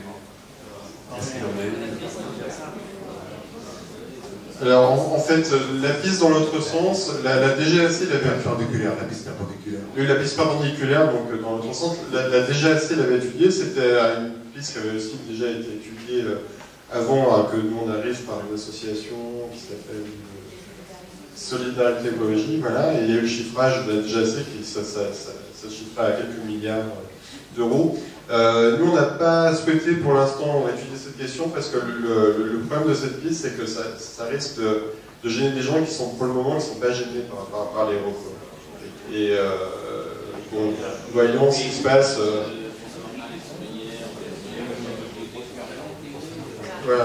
ce qui se passe dans d'autres aéroports comme à Londres quand on crée une piste. Ce que je disais à mon voisin, c'est que dans les, plans locaux d'urbanisme, les Serinières, Vertou, à l'est, et puis le côté de la montagne, Brun, n'ont jamais intégré du tout la présence d'avions. Donc ça paraît hyper complexe à remettre en place et à remettre en route. Il y a une piste qui est suffisante. Question?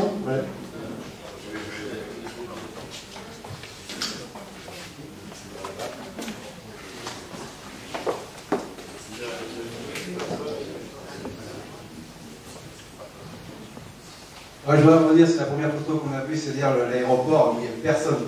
Euh, on a assisté il y a 15 jours avec euh, M.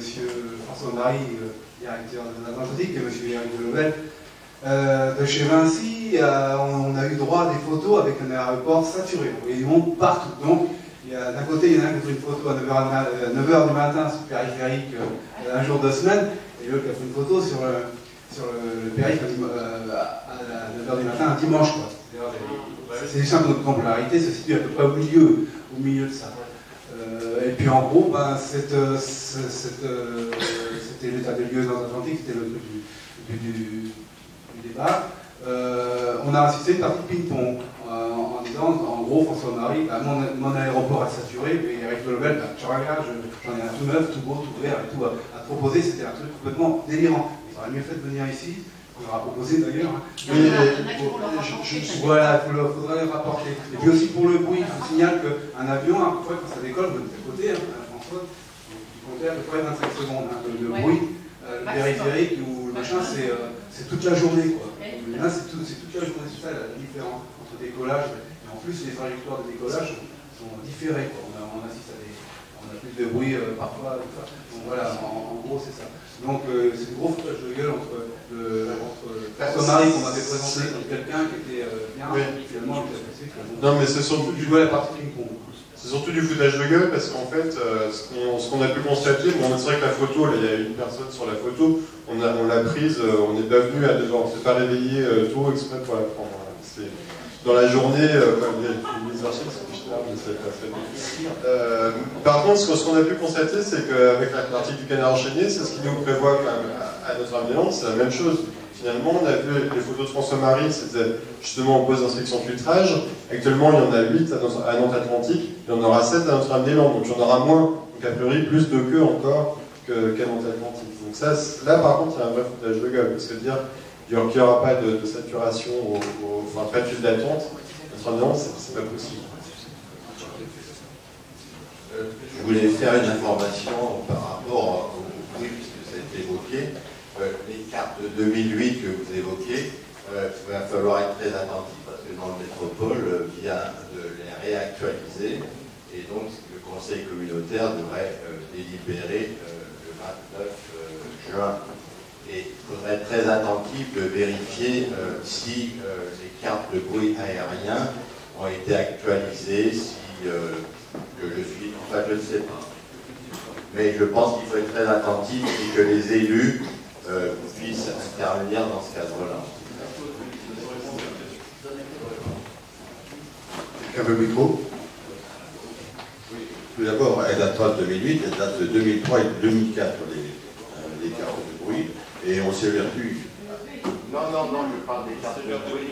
Ah, de l'Anthropole, mais le. le... D'accord. Mais pour revenir à l'aéroport, les cartes de bruit, donc qu'on appelle PGS et PEB, datent de 2003 et de 2004. Bon, euh, on s'est évertué euh, à en demander la mise à jour, jusqu'au point où on nous a mis dehors, hein, ça, ça. Euh, mais on va peut-être, peut-être réussir à avoir un plan de gêne sonore remis à jour. Bon, je ne sais pas, je ne participe plus à la commission, je ne sais pas ce qui s'est dit la dernière fois, mais enfin, certains dans la salle ici, je pense, y étaient, pourraient nous apporter quelques éclairages sur le sujet.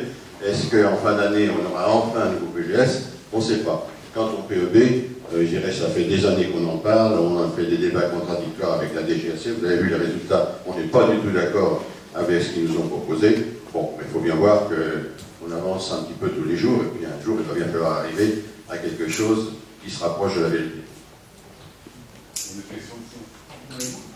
Euh, en cas d'accord pour le renouvellement de notre politique, la voie ferrée qui longeait l'aéroport, euh, enfin la voie ferrée qui longeait les pistes euh, auparavant, qui, qui était déviée, ne serait, ne serait pas remise en ligne? Euh, à l'emplacement, vous voyez Monsieur Fourage va répondre. Le. Oui, on, on peut dans une phase ultérieure. C'est absolument pas nécessaire au départ. On se, sert de Nord Atlantique euh, comme terminus, si vous voulez. Euh, parce que ce qu'on préconise, c'est une navette, euh, si vous voulez, un, circuit en boucle, grosso modo, entre la Chapelle-sur-Air et puis Nord Atlantique. Vous auriez à peu près 45 ou 50 allers-retours la journée. Et dans 20 ans, 30 ans, lorsque ça peut, lorsqu'on est riche suffisamment, on envisage de faire rétablir la ferrée dans, dans, son, dans, ce circuit qu'elle avait en 1960 à peu près mais ce n'est pas nécessaire euh, tout de suite. C'est un inconvénient pour les gens qui viennent de Pornic, parce qu'ils devront, si vous voulez, s'arrêter euh, sur le périphérique à la station qu'on a créée, la station IRT Jules Verne. Mais ça, c'est pas gênant, hein, parce que c'est les gens de Pornic et Saint-Gilles-Croix-Pied, on leur fera des compensations. Vraiment, euh, on a de l'or en bas au point de vue ferroviaire. Donc leur gros exploit, ça a été de, ça a été de camoufler tout ça. Et ils essayent encore de camoufler, euh, dans l'étude LNOBPL, euh, ils essayent de camoufler en, vous disant, ben, attendez, l'étude d'une voie rapide, d'une voie performante par chaque client, non, ça ne va pas. Mais SNCF est très habile parce qu'ils disent la commission d'enquête, la commission spéciale qui a été mise en place, dit ça. donc ils, ont, ils, disent pas d'erreur, ils font pas l'erreur eux-mêmes. Mais le mensonge, ils le font dire par quelqu'un d'autre. Alors que nous, on va répondre, vous pouvez être confiant, on ne les lâchera pas. Et d'un autre côté, vous n'avez pas parlé du système atterrissage tout temps. Je vais vous répondre tout de suite. Ça, c'est ma partie directe. Concernant les... la voie SNCF, il faut savoir quand même que l'aéroport de Nantes aujourd'hui fonctionne sous ce régime dérogatoire, parce qu'il y a des dérogations par rapport aux normes. Et il y a notamment la voie de chemin de fer qui passe euh, donc, euh, tout près de Rosé, les couets.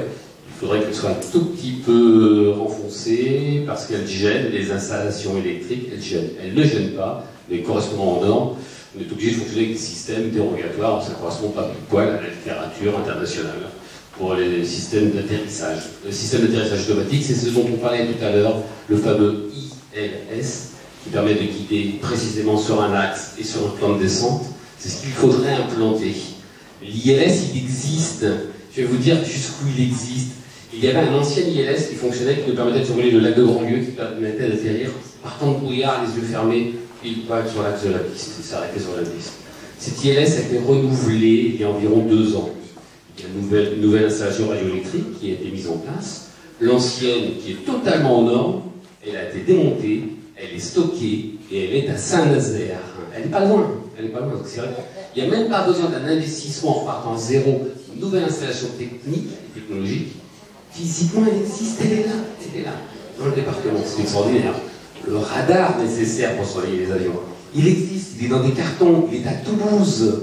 On a la trace physique et matérielle de tous ces, de, tous ces instruments précis.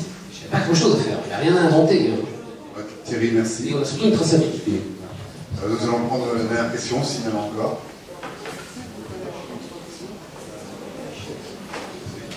C'est une question technique pour les pilotes aussi. Désolé. Euh, pour l'atterrissage par le nord, est-ce que c'est une contrainte euh, effective? Est-ce qu'on ne peut pas euh, déroger, se dire, tiens, est-ce qu'on est obligé de, est qu'on est obligé de passer au-dessus du nord tout le temps ou... C'est le vent qui impose. Un avion, ça décolle et ça oui, atterrit. Je, je bien, mais face au vent. Comme la piste est, est oblique ah non, il est, après, il y a un système de mesure aujourd'hui. On voit ce qu'on appelle l'espèce de rose des vents, et les vents dominants sont pour la plupart, malgré qu'on soit sur la façade atlantique, ils ne sont pas forcément à l'ouest, ils viennent pas forcément de l'océan Atlantique. Il s'avère que quand même 45% des atterrissages aujourd'hui s'effectuent en provenance du nord. Il faut survoler la ville impérativement avant d'atterrir, quand les 55% restent par le sud. Et il y a quand même des normes qui nous autorisent à décoller et atterrir avec du vent venant de l'arrière. Donc on n'est pas obligé de voler, survoler systématiquement la ville de Nantes. Il y a des équipes de contrôleurs aériens qui font très très bien le job et on décolle et on atterrit par le sud. Il y en a une ou deux, honnêtement, moi je l'avais déjà dénoncé il y a quelques temps, ça fait une, une page de couverture dans West France, qui nous impose systématiquement le survol de la ville quand on pourrait l'éviter. Nous, en plus, au-delà de ça, ça a une incidence économique, parce que moi je parle de la technique, mais on parle aussi de l'économie dans notre. Euh, il me semble que la question qui est posée, c'est une qui revient aussi souvent par ceux qui ont connu les autres trajectoires, c'est-à-dire qu'il y a dix ans, euh, les avions longeaient la Loire, étaient sur la Loire, n'arrivaient pas sur le nord. Ils longeaient la Loire et tournaient au dernier moment.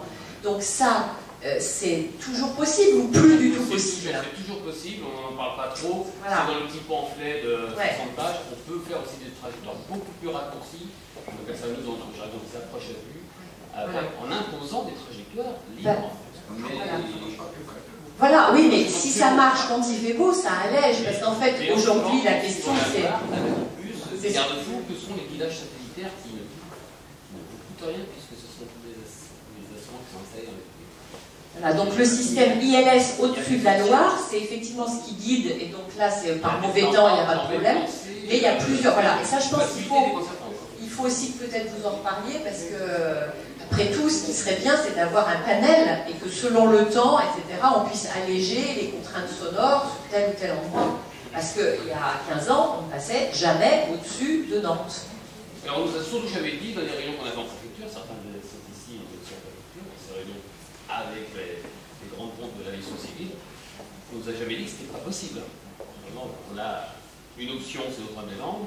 Personne n'a réfléchi à l'option technique non atlantique. Il y a monsieur qui a buté euh, dans la stratosphère, qui intéressé à des services techniques de l'aviation civile, M. Romain, qui était parfaitement d'accord avec nous. Mais bon, on focalise Notre-Dame-des-Landes, non atlantique, je vous disais, c'est un aéroport qui ne bouge plus depuis euh, deux décennies, trois décennies. Toute dernière question. Euh. Euh, J'avais entendu dire il y a quelques années que le problème de Jean-Marc Thoreau avec, avec euh, Notre-Dame-des-Landes, c'était qu'il avait aménagé l'île de Beaulieu en dérogation justement aux normes d'exposition au bruit par rapport aux normes européennes. Je voulais savoir si les nouvelles données qu'on a sur l'exposition au bruit permettraient de surmonter cette difficulté. Alors, c'est pas tout à fait qu'il a dérogé aux normes européennes, c'est pas ça. C'est que quand le plan d'exposition au bruit a été fait en 2003, euh, euh, étant donné que la DGAC, comme l'a montré très bien tout à l'heure Geneviève, a une tendance à avoir la main très lourde, si on avait fait le plan d'exposition au bruit avec la fameuse ligne, entre la zone C et la zone D au nombre de décibels, on aurait eu effectivement un problème peut-être sur l'urbanisation de, l'île de Nantes. hein. Voilà. Mais oui, parce qu'en réalité, vous voyez bien, et on vous l'a montré tout à l'heure, le bruit réel d'aujourd'hui n'a rien à voir avec le plan d'exposition au bruit qui était prévu. Donc, eh, c'est pour ça que nous, on dit, on a déjà dit au maire de Rezé et au maire de Nantes, ça ne remet pas en question l'urbanisation des endroits que vous voulez urbaniser. Et d'ailleurs, euh, montrer ça, c'est très rigolo. J'invite tous- les gens qui connaissent les couets à passer devant un immeuble qui est en construction et qui est en limite, qui est en zone D dans le PEB, en limite de la zone C, et il y a un panneau 4 par 3, ici, votre appartement au calme. Mais c'est. Je suis désolée, c'est pas moi qui l'ai écrit. Hein. L'autorité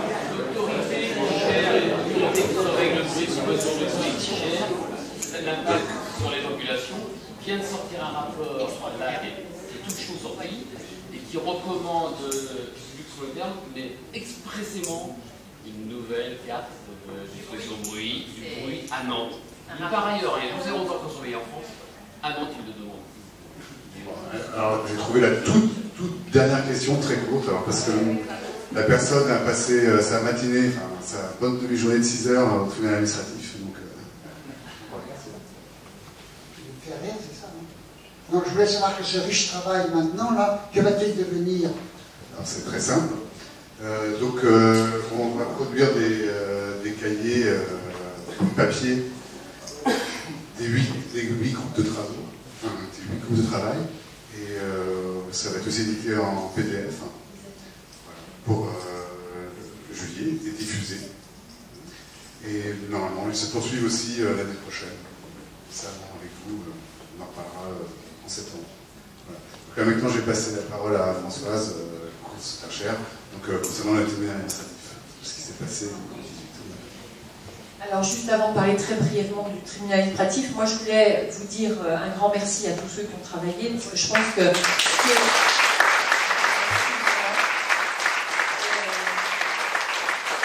Il me semble que pour tous ceux qui pensent que les citoyens ne sont pas capables de s'occuper de leurs affaires, les ateliers citoyens et votre présence ce soir montrent précisément le contraire.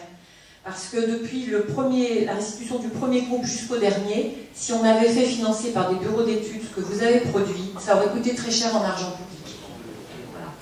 Et effectivement, il faudrait que le travail qui est fait là euh, soit euh, enfin entendu par les décideurs. On ne prétend pas tous euh, savoir tout. Il y aura probablement, par rapport à ce qui a été présenté, il y aurait des choses à revoir, il y aurait des choses à préciser, il y aurait des... Bon, bien sûr. Mais c'est un vrai travail, et c'est pas un travail d'amateur. Et j'espère que ceux qui sont là dans la salle et qui sont pour l'aéroport de Notre-Dame-des-Landes auront effectivement à cœur de transmettre ces informations qui, de notre part, sont toujours transparentes et sont sur le site, sur les sites que nous mettons en ligne toujours. Et à chaque fois, nous avons dit, s'il y a des abominations, des erreurs, des mensonges, vous nous le dites. On n'a pas eu beaucoup de retours dans ce sens-là. Voilà. Euh, donc un grand, un grand, grand merci à vous tous. Alors un tout petit mot sur euh, le tribunal administratif euh, hier, donc qui avait à examiner en gros trois recours, je dis trois, je rassemble. Hein. Un sur la déclaration d'utilité publique des voiries connexes, c'est-à-dire l'amélioration ou les modifications de toutes les routes qui à Notre-Dame-des-Landes seraient impactées par l'aéroport et qui donc auraient à, être modifiées. un deuxième recours sur la la transformation euh, d'une zone humide en une zone euh, aéroportuaire et donc la destruction d'une zone humide. Et le troisième groupe euh, d'arrêtés préfectoraux attaqués, c'était sur la destruction des espèces protégées. Donc hier, l'audience a eu lieu, c'est-à-dire qu'en fait l'audience qui a été très longue, plus de 5 heures, a consisté pratiquement en 3 heures de lecture par le rapporteur public, qui est l'équivalent du procureur hein, le, devant un tribunal administratif par rapport à un tribunal qui n'est pas administratif, tribunal civil, euh, vous avez le procureur qui dit la parole de l'État, là c'est le rapporteur public, et donc qui a analysé les dossiers, qui donne son avis de rapporteur public devant la Chambre, et ensuite il y a une petite plaidoirie très brève hein, euh, de, notre côté et puis du côté des défenseurs. Donc euh, je, vais résumer très très vite, beaucoup le savent maintenant, donc le rapporteur public conclut au rejet de toutes, pratiquement de toutes nos demandes. Euh, sur la déclaration d'utilité publique voirie, il considère, parce qu'il y a une jurisprudence du Conseil d'État que je tiens, que je vais maintenant répéter, et que je vous engage à répéter auprès de tous vos concitoyens, parce qu'elle est ahurissante, et que du coup je comprends mieux le, décalage total entre euh, ceux qui décident et, les, citoyens. La jurisprudence est la suivante du Conseil d'État. Une centrale nucléaire n'a rien à voir avec la ligne haute tension qui acheminera l'électricité de la centrale ailleurs. C'est-à-dire que vous, avez tout à fait le droit de présenter un projet central, puis un projet ligne haute tension, et on ne fait pas le lien.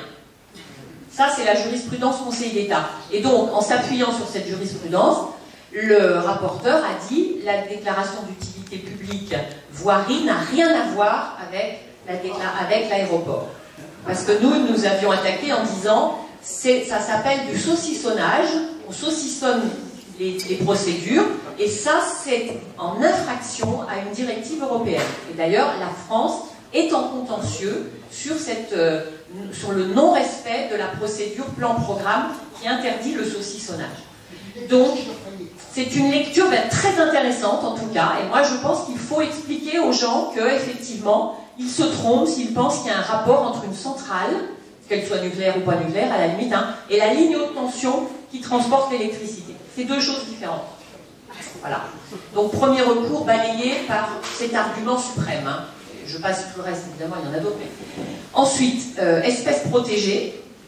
Espèces protégées, eh bien, euh, pour résumer, le rapporteur public a dit que finalement, euh, le programme prévu paraissait tout à fait euh, intéressant. Il y a un, calendrier, il y a des méthodologies, et que donc nous n'apportions pas la preuve que ça ne marcherait pas, et que si jamais ça ne marchait pas, eh on verrait, la police de l'eau ferait son travail à ce moment-là et dirait ça ne va pas. une fois que ce sera fait et peut-être mal fait, voilà. Et dernier point, loi sur l'eau. Alors là, il y a eu un très très long exposé sur euh, justement euh, la destruction d'une zone humide. Alors il a tout de même reconnu, j'ai quand même noté la phrase, il a dit que construire un aéroport sur une zone humide, totalement humide, était assez peu usuel.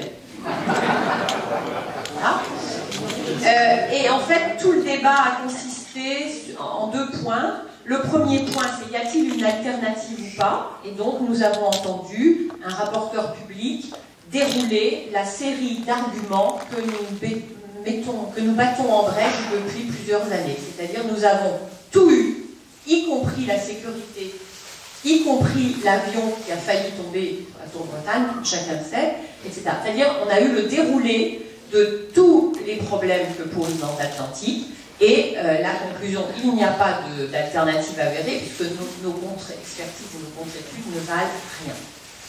Et le deuxième point, c'était la méthode de compensation. Or, vous le savez, il y a eu un rapport scientifique extrêmement sévère et disant clairement que la méthode de compensation n'était pas acceptable, ni dans son principe, ni dans son application à Notre-Dame-des-Landes.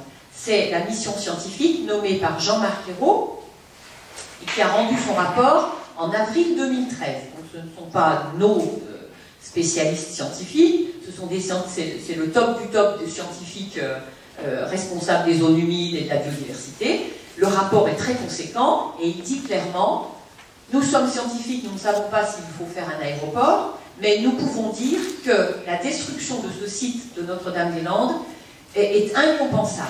Et quand bien même il faudrait le détruire, que les scientifiques n'ont pas à juger de la façon si on, doit le détruire ou pas, mais il disait la méthode de compensation n'est pas valable parce que l'état des lieux initial n'a pas été bien fait et parce que c'est une méthode qui est pleine d'interrogations. Voilà ce qui était dit par les scientifiques. Depuis, d'ailleurs, il y a eu un autre avis scientifique d'avril de cette année, avril 2015, Conseil scientifique national de la biodiversité et du patrimoine naturel, qui a dit à la ministre Ségolène Royal qu'il émettait un avis défavorable à la destruction de ce site particulier de Notre-Dame-des-Landes, un bocage rélictuel, zone humide, etc., comme il n'y en a plus quasiment dans l'Ouest, dans toute l'Europe de l'Ouest. Voilà, donc ces deux avis scientifiques le rapporteur public les a tout de même lus et il a dit effectivement qu'ils étaient, il a parlé du premier essentiellement d'ailleurs, pas du second, qui est plus récent, euh, il a dit que le rapport était très critique, mais que rien réglementairement n'empêchait l'État de poursuivre. C'est un petit peu comme si, puisqu'on est à quelques mois de la COP 21, c'est comme si on disait aux experts du GIEC, bah, votre rapport scientifique, oui, effectivement, il dit que ça ne va pas terriblement bien pour le climat, mais en fait, rien ne nous oblige à changer. Voilà, réglementairement. Donc on a eu une lecture extrêmement euh, à la lettre, c'est-à-dire il n'y a rien dans la jurisprudence, il y a je ne sais pas quoi. Et donc le rapport scientifique, effectivement, le préfet peut très bien s'asseoir dessus, l'État. Voilà. Il y a tout de même eu il faut, être très honnête, forcément en résumant, je, suis obligé d'aller à l'essentiel.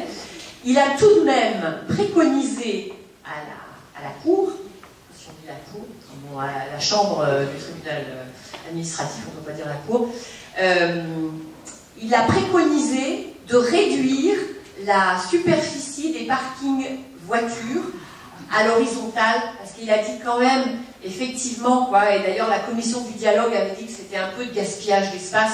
Alors, je, vous propose de, faire réduire la superficie consacrée au parking à l'horizontale. Et quand même pas aller jusqu'à dire qu'il fallait les mettre en hauteur, euh, parce que c'était quand même peut-être trop, mais une petite réduction qui permettrait d'économiser quelques hectares de zone humide. Sur les 1600, ça fera une petite économie.